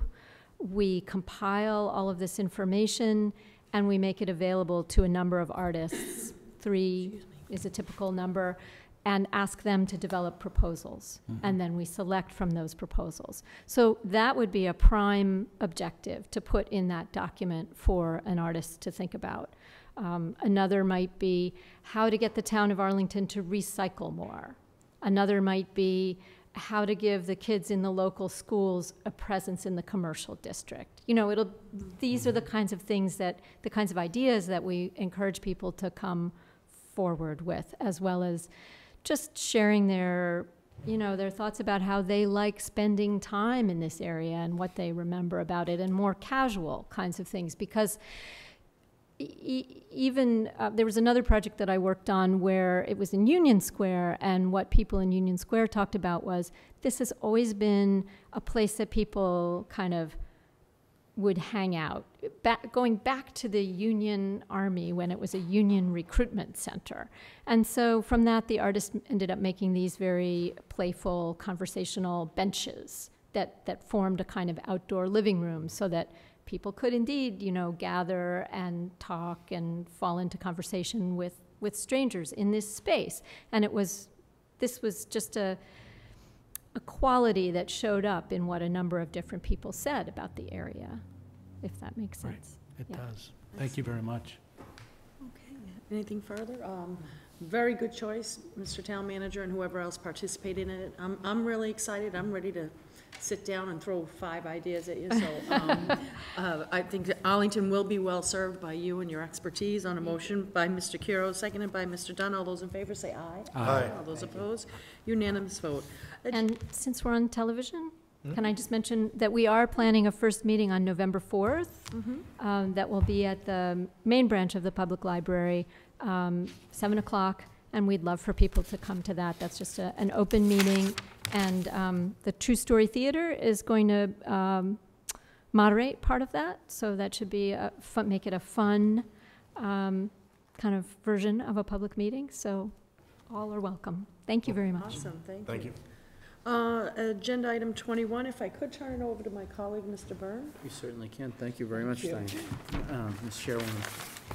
Um, So, a- as I'm sure you've noticed, we've been, uh, the Parking Implementation and Governance Committee's kind of been coming forward at the last few meetings, um, implementing some, or asking your approval for um, kind of everything that we've been working on. And, you know, we did find that uh, at this time, we're kind of ready to bring a slew of recommendations um, to you, kind of about, um, basically that shows what the center is gonna look like, um, moving forward. Um, and I, I'll definitely have to start by commending everyone who served on the committee. Um, Leland's here from the region, he represented the merchants, um, of course, the town manager, and, um, there was a really great team that, that was quite dedicated, and I know we all serve on different committees, but to, um, be willing to show up to town hall at eight o'clock, uh, throughout the summer, a few times a month is, um, certainly not, um, not regular for committees, and I, I was quite happy, um, with their dedication. Um, I guess I'll start by, um, addressing some of, um, some of Bob's comments, um, uh, particularly where, the, the main goal of this is to, kind of increase the availability of parking on Mass Ave. And I think, where, uh, I understand that Bob doesn't, um, potentially, or so- and some others, uh, might not see why, um, this will increase turnover. Um, I, I think it does, um, what we're hoping on and what, you know, other towns have seen is it, it does come down to economics. When you start charging, um, people, um, less to go into lots, um, that's where they'll go, and particularly for, um, long-term parkers during the day. That's, um, that, that's certainly where, where they belong, um, quite frankly. That, we, um, we can't afford to have, um, people, you know, or individuals kind of taking up, um, the spots on Mass Ave that are really crucial to all the businesses there. And, and I think that this strategy does work, and, and as, as you, if you look across kind of, you know, the Commonwealth, I think you'll see quite a few municipalities who are kind of moving to this, um, this type of parking structure. And, and it's one that, that I, I do think will serve the town well, and I, and I hope that you, um, will join me in supporting this. Um, I am very happy to report that the meters are out of the lot, and I'm sure everyone's seen that. We're, we're, Out on Saturday. and uh, that, that's all obviously a great thing for, for everyone, and there'll be quite a few less headaches um, moving forward now. Um, And, and we're still, as, I think Adam's uh, memo really did a great job uh, laying out everything that is, has happened and is going to happen. Um, But, but that was certainly uh, one in the victory column. Um, So I guess with that, uh, I think everyone, I, I know that this memo has been out, and unless Adam has anything he'd like to add, I'd, I'd kind of be happy to open up to questions or concerns and, and, and go about it that way, because I could probably keep talking about this, but I feel like I might be going in circles, We so. probably talk about it all summer Yes, long. exactly. Uh, Mr. Chapdelaine, before. If I may, the, the only other point that Mr. Radosha raised that I think was um, wor- worth trying to clarify was, uh, part of the recommendations or, or the, um, the memo talked about no longer defining permit spaces in the Russell Common Lot versus metered spaces. Uh, and though, uh, there, there may be some validity to the point Mr. Radosha made about when people arrive and where they park, uh, we did feel that, uh, with the committee members' feedback, that the ambiguity uh, that would occur during uh, after-hours parking or, or, or nighttime, evening parking, uh, where people would come in, they want to go to the Regent Theater, they want to go to dinner, they see permit parking only, they're not sure where they can park, uh, that alleviating that ambiguity would be a, a sort of a, a a beats-all benefit. And it- if it doesn't work, the, the beauty of this governance structure that the board has set up is we can change it. Uh, n- Nothing's permanent. We're going to be monitoring. We, we want to get this right. Uh, We're, we're not just, you know, stamping it and walking away. So i- i- if there's, if there's issues, Yeah. we'll fix them. And I, I guess I will just add, um, what, two things, I think, um, two places that we had quite a lot of discussion on was, uh, one being loading zones. And I know, um, uh, Leland was a, a great voice in that, and we, um, we worked on this for a long time. I, I think at one of the first meetings, we had a map out, and we were, you know, looking in the median strip of, could we possibly put a loading zone in there? And, uh, at, this point in time, we, um, we're not going to, um, recommend one, but again, it is something that, that we'll move forward and kind of see if anything changes, but we're really hoping to work with the different vendors, and, you know, I, I think that, as the memo says, Starbucks has been, um, kind of difficult with air loading, so we're, um, gonna try to, try to work with them to come up to a, um, a resolution on that level, as opposed to make any recommendations, um, through this report. And, and the other was, of course, taxis, which we've spoke about here before. Um, we've, uh, reached the compromise that the group agreed on, where we would move, uh, redirect two of the taxi, um, spots into the lot, and then continue to have two on Mass Ave. So the two on Medford Street, and we'll be moving those into the Russell Common lot, and we'll be leaving the two on Mass Ave. So, thank you. Mr. Curro? Thank you very much. Thank you for all the work on, on this. I know it's been a long haul. I think you described the, the demand management really well, um, and I have a lot of hope that, that that's going to help alleviate some of the issues that we've, that we've had, because as we, I think Nelson Nygaard really demonstrated, we don't really have a supply problem for the most part. In some, some, sometimes we do, but in general, we don't have a supply, but we actually have a demand problem. And redistributing those cars into the, into the lot um, during the day in particular is very um, important. I did have a couple of questions um, on, on this. I fully support the, the, the proposal to, to move the, the two taxi stands into the Russell Commons lot. It's not designated in the memo, though, as to where those would be. Is it anticipated that they would be in spots that are close to Medford Street on that side of the, the lot, so that they're not too far off believe from the it- theater and from, from other, Yeah, we, we ended up with spots facing the, the housing uh, in the Russell Common Lot, the two spots closest to Dormer Way over towards the Regent Theater. Oh, towards the theater, oh, so they're somewhat visible even from, from, from Medford Street. Okay, great. Um, I noticed that you, um, okay, so you've, I- I'll admit, I'm a, I'm a little disappointed that we're going with pay, uh, with uh, pay and display because I think it is tough. Why, I, I understand why, because of the, the cost. Um, I just, I think it's tough for, um, especially older folks who have to go and walk to the, walk to the machine and walk back several, several times. So I did note, though, that, that the machines that we've purchased have the ability to do pay, um, what's it called, pay by space? Yeah, and, and you know, I think, um, we, that, that was also a, um, a pretty big discussion the group had. And, and correct me if I'm wrong, Adam, but it, it really was an infrastructure discussion on, you know, Yeah. we can kind of, we, we're, we have pay and display now, and we, we can, um, you know, it just seemed to make sense, um, so we could kind of get this going. um, Yeah. As opposed to, you know, um, Sure. redoing the lot or putting in new poles, um, et cetera. Do the machines support the ability to punch in your license plate? Yes. They do. But we weren't gonna, we, the plan wasn't to activate that right away. Is that Yeah, so correct? we, uh, may I? Yeah. Uh, We, we we did have a lot of talk between the three options, pay by, uh, pay and display, pay by space, or pay by plate. And where, where we came down was, of all the complaints we get about the existing meters, pay and display wasn't at the top of the list. Perhaps Right. there's reasons for That the that. but, meters stunk, um, yeah. We, we, you know, I, I came into the discussion thinking that pay by space was the way to go. Uh, but after talking about it with Mike Rademacher and DPW, the sort of northeast winter realities of managing that and making sure that you plowed out anything that you painted on the ground, had to repaint it every year, Yeah. possibly put signs in the ground that you wouldn't plow up against. Start, you, you really start to think about how manageable it is in a lot of that size. So I I sort of led an argument against that.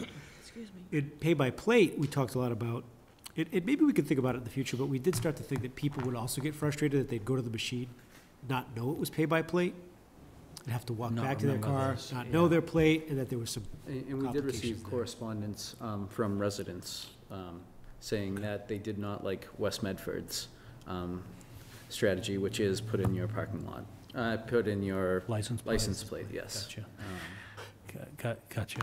I, I can imagine objections on a number of levels. Everybody's thinking in their head, what is my license plate? Yeah, I think in Mine their is, 'cause head it's- or pri- mine's or K, privacy Donovan concerns KD, are so I being know how to remember tracked it, and go the- ahead.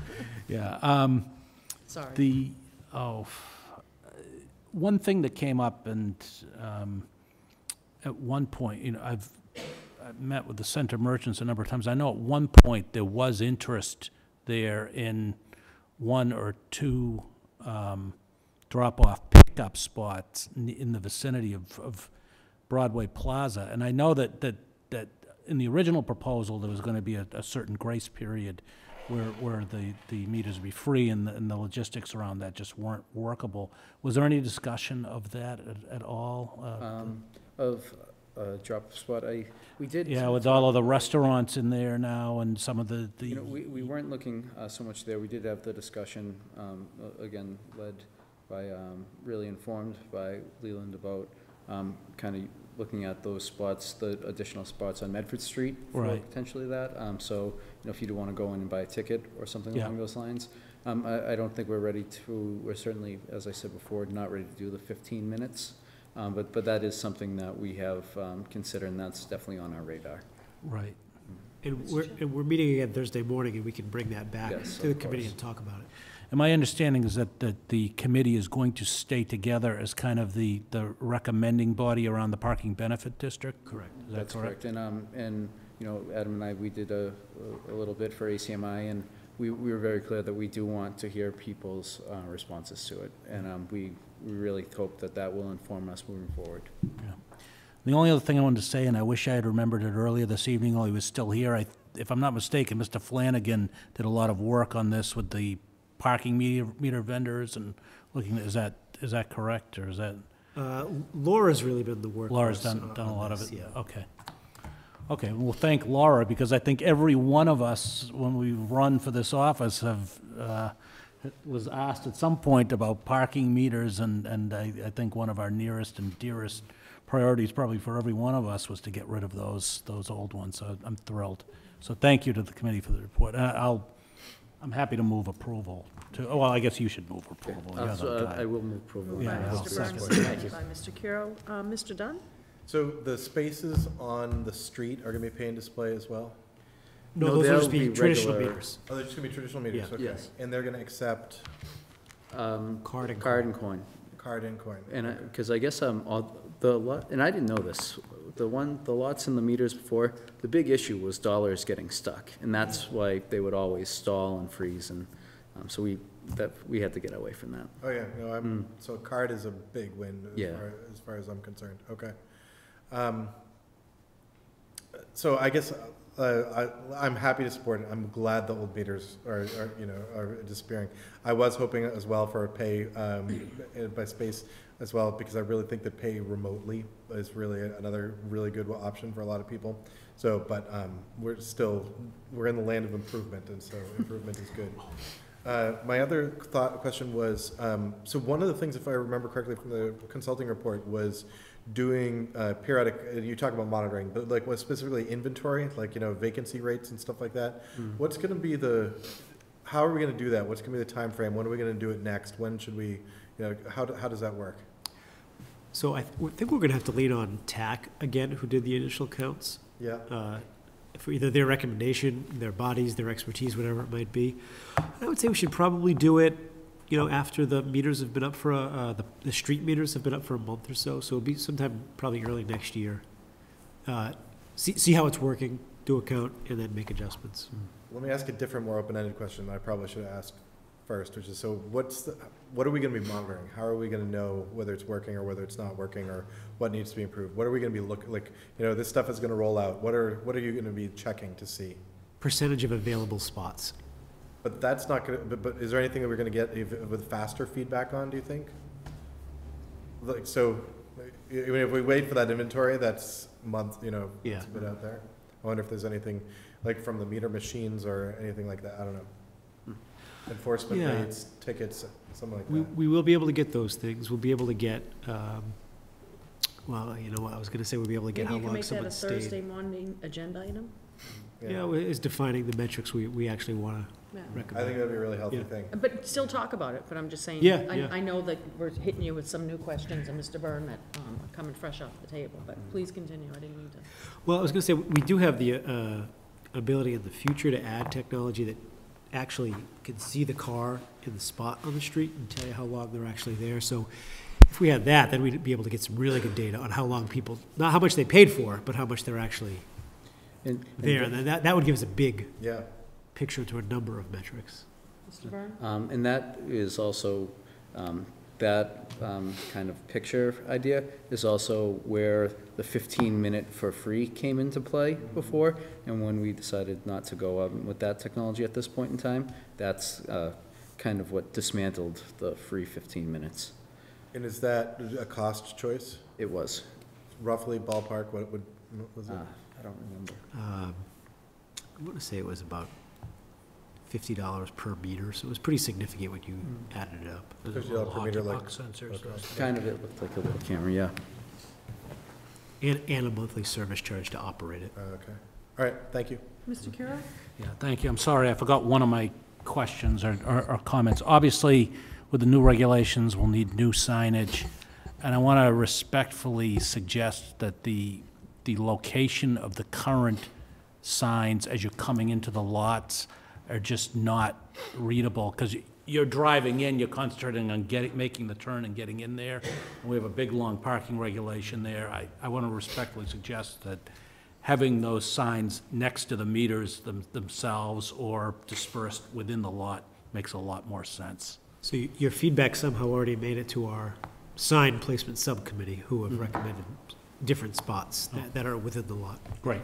And I, I will say Howard, um, I think it was Howard and Laura, they, they went and walked around the lot several times to pick out the right spots for it, and, um, they are, um, they were fabulous with that.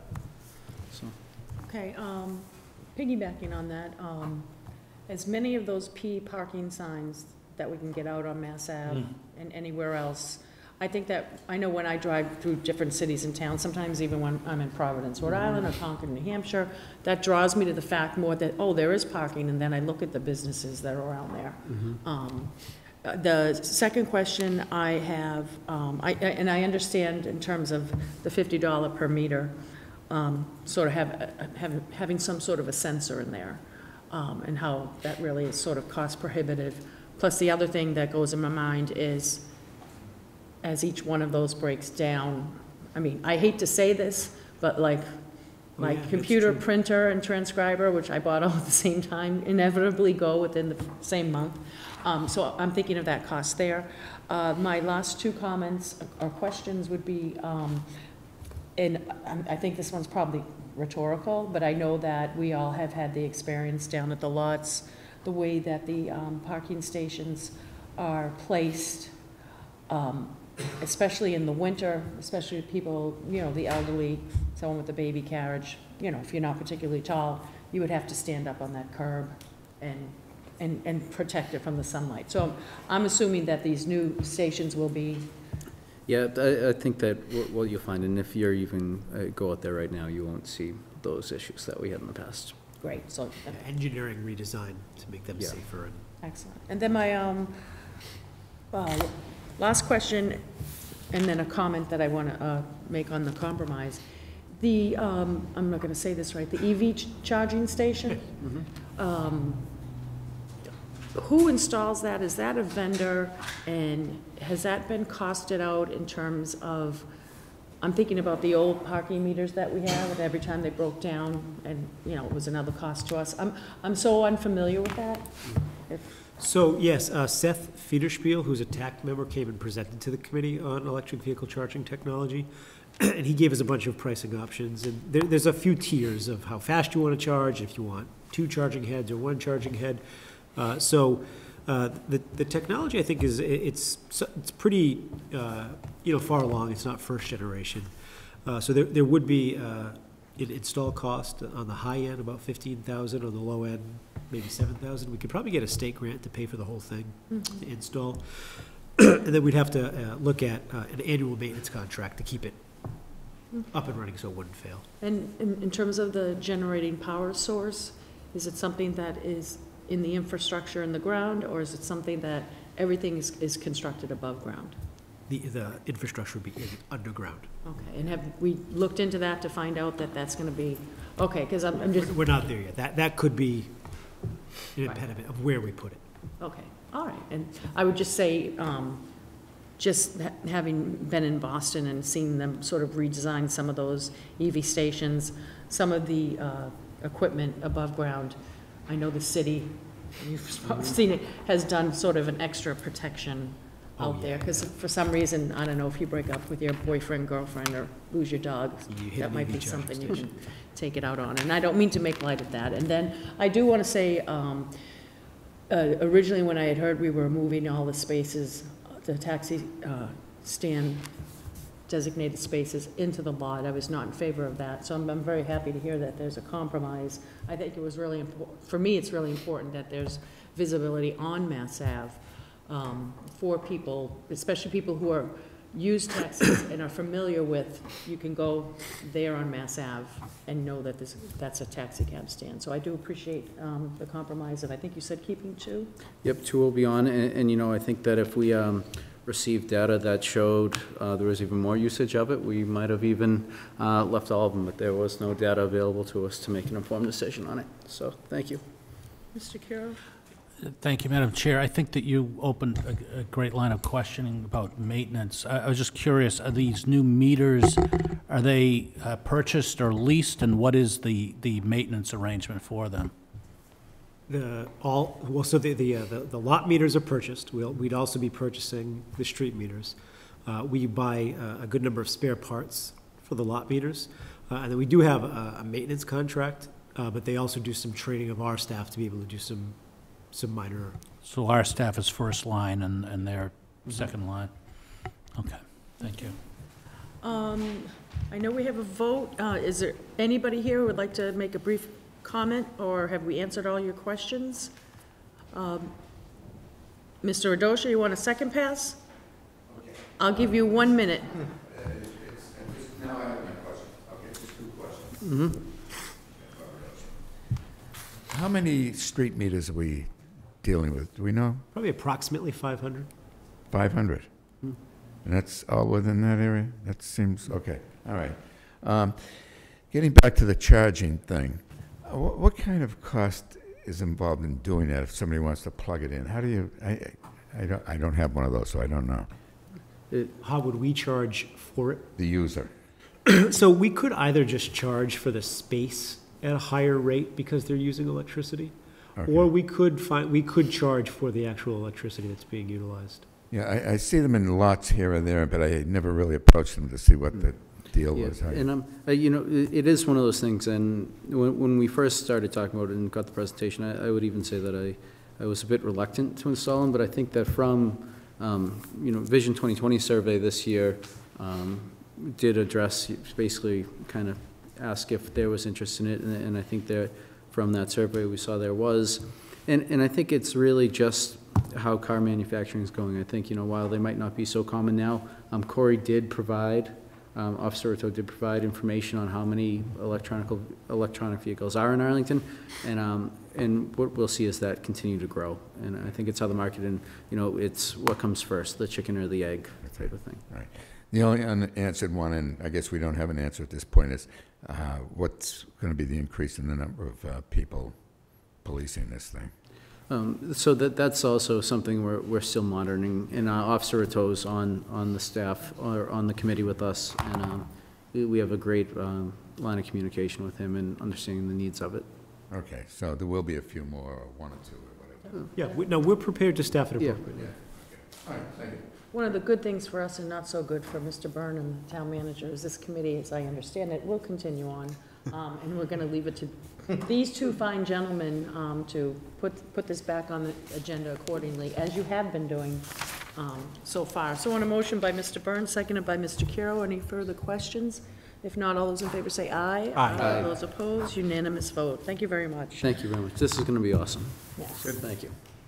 Um, And now, uh, agenda item 22, update on the Mugar property site approval application. Mr. Chapdelaine, who will turn it Uh, over? I, I'm actually going to turn it over to town counsel. I let you call on your own department heads. Thank you, Madam Chair. Um, So a quick update to the, um, our site eligibility uh, issue with respect to Mugar property. Uh, As the board at this point knows, uh, the development team from Arlington Land Realty took the highly unorthodox step of submitting supplemental information, indeed a sort of quasi-rebuttal to the town's, or rather the selectmen's, uh, comments to mass housing. This is, as I said, highly unorthodox and atypical, uh, largely because the process that's outlined by mass housing is that within 30 days of notice of an application to all of you, you're supposed to give your comments, and they're supposed to provide a determination on an eligibility application within 60 days. Now, we obviously asked for an extension of time. Uh, There's some other things that went into that, but the long and short of it is, is that the couple things that sort of go up in the air as a result of this uh, supplement and uh, rebuttal are, what is the timeline for mass housing making a determination? Uh, What in fact does this rebuttal really mean for us? I think it's a fair thing if the selectmen were so inclined to determine that the supplemental information renders it to be a largely new application. uh, That certainly would allow the uh, selectmen, if it were their uh, choice to do so, to submit further response. Now, of course, the danger in that is an endless cycle of, of responses, but again, uh, I consulted with our special counsel, Mr. Witten, who's far more familiar with the dynamics of this than, than anybody else uh, that I'm aware of, and he's uh, not quite sure he's seen a supplement and rebuttal of that nature. So take that for what you will, uh, in terms of the robustness of the selectmen's comment and what that means um, for the mass housing um, process on the Arlington Land Realty application. But um, just to run down, it's uh, largely documentary, documentation that they didn't initially provide. There's some commentary and response to um, comments of, of the board. And then there's uh, some information that's essentially just sort of truly uh, supplemental. So we did contact Mass Housing to understand uh, their perspective on this, and they said that they would receive further comment from the board if the board was so inclined. What I've asked uh, Mr. Witten, our special counsel, to do is to scrutinize the additional information that they've provided so that at this board's next meeting, if the board is so inclined, uh, we could have, you know, additional uh, response prepared for the board. But uh, suffice to say, it's not my view that a further hearing is necessary based on what information they provided and the fact that the public meeting or hearing, whatever you want to call it, wasn't necessary in the first place. But I welcome any comments and instructions from you on what you'd like to see, understanding that we're now sort of operating well outside the parameters of a normal site approval uh, process, and that, that may mean many things for Arlington. I don't want to speculate too much about, about that. Okay, and before I uh, call on my colleagues, what I'd first like to say is I definitely am in- in approval of having this on the next agenda when we have a full board, because it's a, a very important issue, and I know uh, Mr. Greeley, um, his expertise and um, would be welcomed.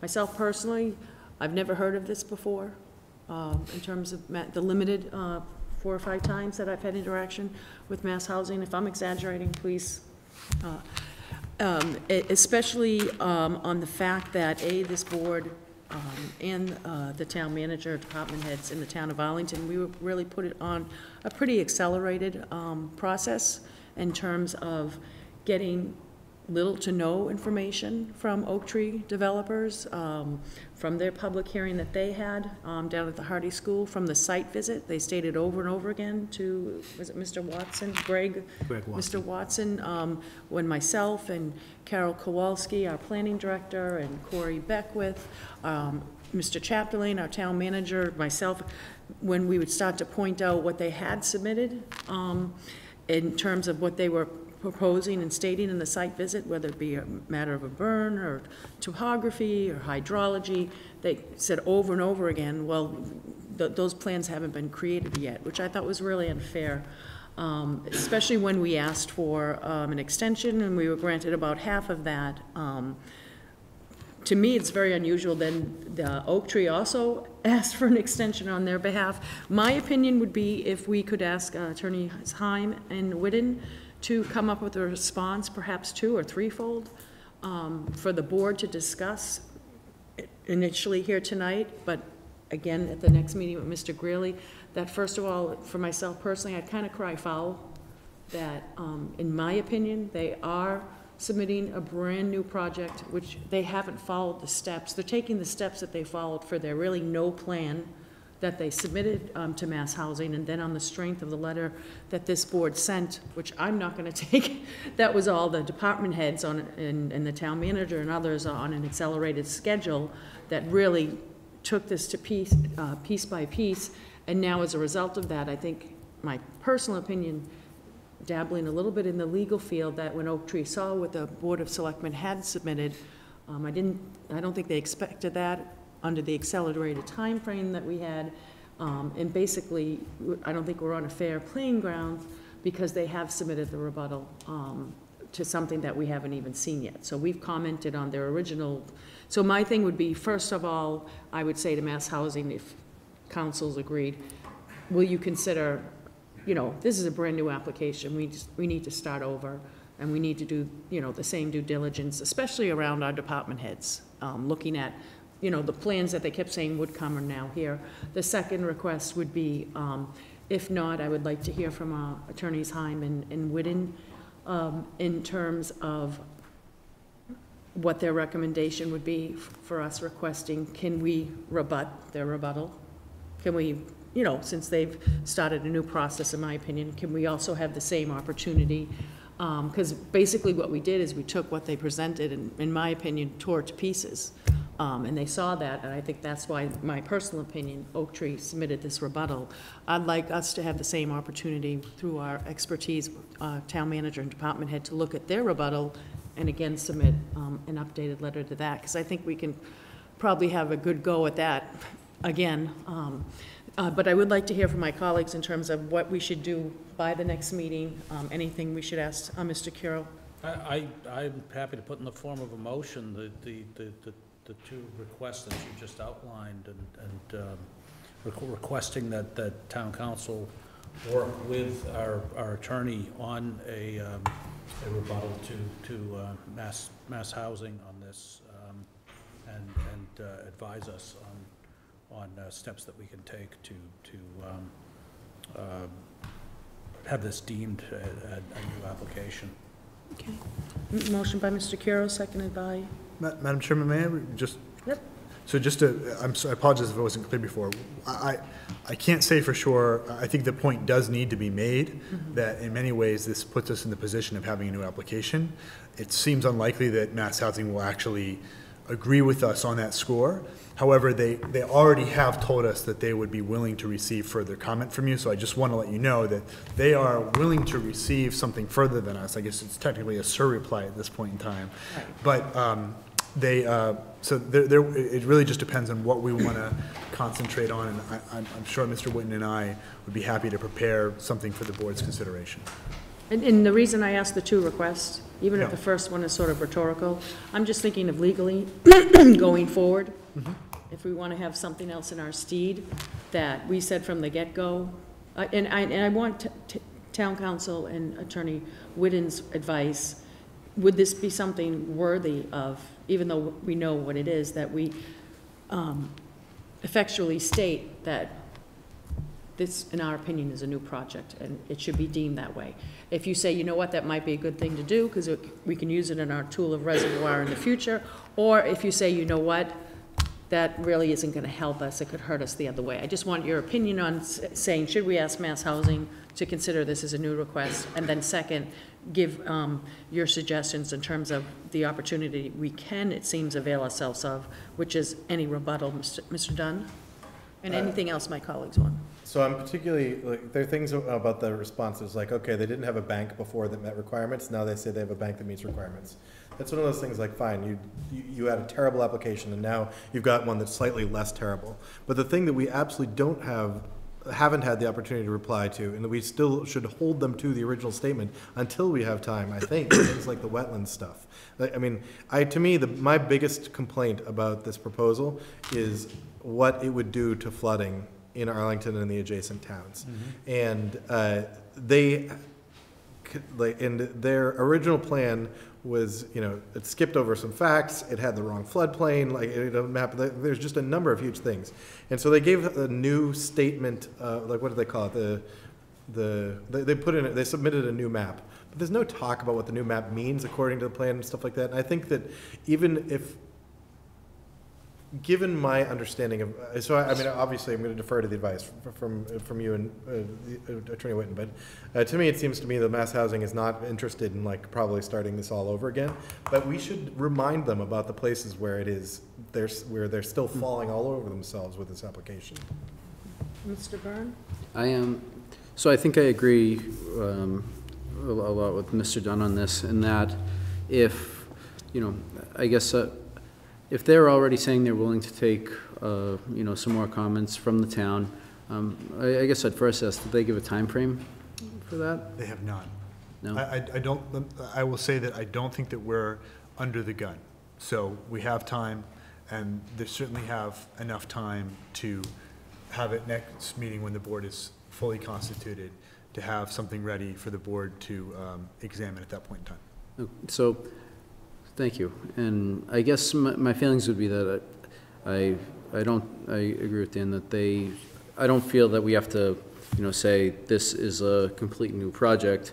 I just want to continue focusing on why this is a flawed project. And so I don't think it has to be, we don't have to start from, from point A on this, but we just have to continue to drive home the facts of why this is wrong for that part of our community and why it will, you know, be a disastrous project for, you know, East Arlington.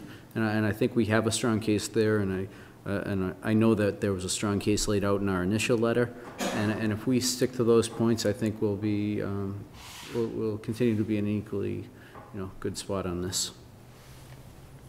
Okay, I guess I'll leave it to my other two colleagues. I, I would like, um, the two, two requests. Um, I understand Mr. Byrne, um, regarding saying this is a- new project. And the reason I want that is I want their opinion in the sense of, even if we make that statement, um, the reason why I'm making that is I want to start over so that we have the same generous time um, that we had originally with the original application, because to me, this is pretty much a brand-new application, so that we're not saying to our department heads, Mass Housing could come back with, like they did before, we asked for 60 days, we got 30, they could come back and say, well, you now have 15.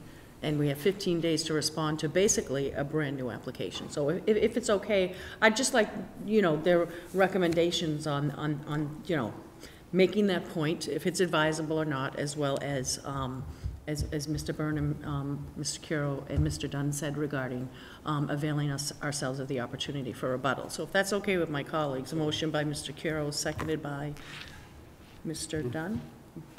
All those in favor say aye. Aye. All those opposed? Unanimous vote. And thank you, it moves on. And um, I'm going to um, leave this to the town manager and the chairman, Mr. Greeley, and Attorney Heim, to put this on the next agenda um, with any related items there too. Under correspondence received, thanks to Chief Ryan for his leadership, um, from Lori Kenshaff on behalf of the Reverend Marta Flanagan and John Hodges, First Parish Unitarian Universalist Church of Arlington.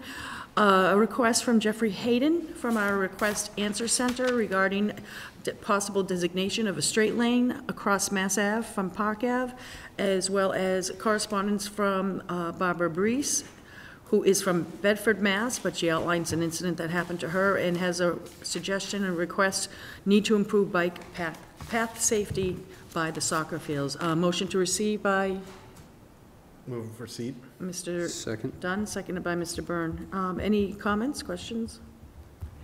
If not, all those in favor, oh, anybody? No? Well, I was wondering if we wanted to make referrals on, on, on two of these, if we wanted to re- refer the straight lane question to the, uh, Well, I think if- since it's in the request answer center, has it already been? So it, it was Oh, in the it's in the- request answer center to the Board of Selectmen. That's Okay. why it's here. So I, I would recommend we first refer it, if the board's, uh, willing, to engineering. And then depending on what they say, to TAC if necessary. okay. So that would be your motion? Yeah, so I'm- Can I uh, make a comment on that one? So um, I'm okay with that as a referral, but I will say that that is something that we, that we, as, a- that's one of the intersections we uh, have spoken on this board while I've been Oh, there. have And we? we did Oh, divide, we did design it that way. And we, and when we said yes on that, I think one of the explicit stated risks of it was this concern that this uh, gentleman has right here.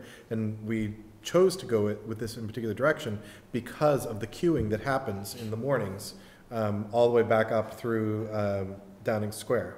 Yeah. And uh, so any designation of a straight lane there will increase the queuing back through Downing Square, which is why we chose not, which is why we chose to choose, which is admittedly a relatively unorthodox uh, situation, because generally, one lane or the other is stuck behind somebody trying to turn, but at the moments where, the brief, exciting moments when both lanes are free, and you can actually go through in the morning, that is the time when it gets, uh, it can get a little bit uh, white knuckle. Uh, So I will say, so I'm, I'm, I'm happy to hear another thought on it and see if there is an alternative, but I will say that I, I think we did a lot of work on this one and, uh, related to the Downing Square, and that was the choice that we made. So it's, you know, Downing Square and that, that, that connected intersection of, you know, we're gonna be here talking about them for a long time. So, uh, But in the interest of process, we have the uh, request um, through our Request Answer Center on Mr. Curro's motion to refer to engineering, seconded by Mr. Dunn. Any further questions? All those in favor say aye. Aye. All those opposed? Unanimous vote. Um, Anything else? Well, Mr. Curo? I, I was just curious, on, we, we did get the other um, correspondence from Bedford, and it came to us. I, I- I was wondering if it makes sense to just refer it over to Park and Rec so that they're aware, aware of it. I realize, though, that anything like this would have to go through capital budgeting and all. of that. They are, they are aware of it, but I think a referral to them nonetheless, it, it would be appropriate on the board's behalf. Okay, And Town Counsel, is there anything that you have on that, or? I think that, uh, I think that a referral to the Park and Recreation Department is appropriate. Okay, Thank you. motion by Mr. Curro to refer to Park and Rec, seconded by Mr. Yeah, Dunn. second. Any further discussion? If not, all those in favor say aye. Aye. Aye. All those opposed on a motion to receive, correspondence received, which we have one thing, uh, one item left. Um, Made by Mr. Dunn, seconded by Mr. Byrne. Any further discussion? If not, all those in favor say aye. Aye. All those opposed? New business, Mrs. Kropelka? The only thing I have to say is that um, I feel, the committee feels that we had a successful town night and town day, and I've had several emails from people, residents, businesses, thanking the Board of Selectmen and the committee. And I think the committee, including myself, did a great job for the two days. That's it. Thank you. I'd like to thank uh, Attorney Ed Marlenga for his assistance in uh, examining an insurance issue for Town Day. Town Day.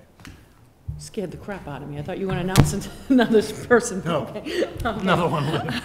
Uh, Mr. Town Manager, is that Attorney Heim? Yes. I, I, I heard that it took the, f- the four members that are here tonight to take the chairman's place at Town Day on the stage. Is that true?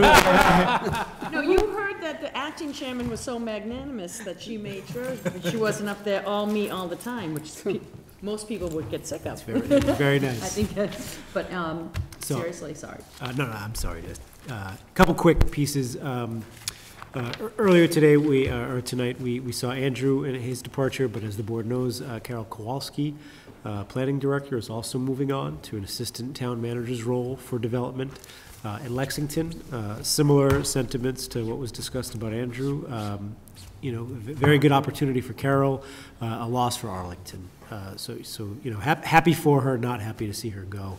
Uh, But I did want to let the board know, we will be, uh, we're we're just refining the job description now. We'll be posting that position very shortly. During the interim, Laura Wiener will be the acting planning director while we search, um, while we search for Carol's replacement, so I wanted to let the board know that. Uh, Also, planning related, I want to let the board know that the Secretary of um, Economic Development, Jay Ash, will be in Arlington tomorrow uh, at 2:30 to meet with me, and I'll have Carol and Ted Fields up. Uh, Basically, I think he's doing a tour of almost every community in the Commonwealth, uh, Commonwealth, just trying to learn about community priorities. So uh, we'll talk about the master plan. We'll talk about some of the efforts that have been made in regards to co-working space, uh, of which I think there's going to be some actual produce very soon. Uh, But we'll also take the opportunity to talk to him about the Mugar property. Uh, He is the secretariat that has sort of the quasi-relationship with mass housing, so uh, I I don't know what he could do, but having, a- having his ear will be of benefit, so uh, I I know I'm telling you now, if any of you are uh, available between 2:30 and 4, and you want to stop in and meet the secretary, that would be great. Can I recommend that you have a map of the wetlands hanging on the wall? We we do, high we do, we- detail. we- we've got, we- Good. As you can see, there's four square feet here that you can build on. we can definitely do that. Um, Two other quick things. Um, As the board recalls, uh, the, the last bargaining unit that we did not have agreement with uh, was with AFSCME. Uh, This week, uh, we, re- or this week, no, last week, we, would have been just today, uh, we reached a tentative agreement with AFSCME that will go back to the bargaining unit for ratification, so I'll keep the board uh, up to date on that. Uh, And then finally, uh, this Saturday, I'll be leaving for attendance at the ICMA Annual Conference. Uh, So I believe um, I'll send the- the board a, a note on this, but Doug will be uh, stepping in as uh, acting town manager, so get ready, Doug. Uh, And that's all I have for new business. Thank you. Mr. Byrne? Um, Other than thanking everyone uh, who played a part in Town Day, uh, particularly the Selectman's Office, um, that's all the new business I have. Okay. Mr. Curro? Uh, Thank you. Yeah, I'll echo- I'll echo that as well. It was a wonderful day, and the weather held out for us. Um, I did want to note, uh, on a, on a more uh, serious note, I um, had the opportunity to attend, um, there was a vigil for uh, victims of, of uh, substance abuse at the high school uh, two weeks ago.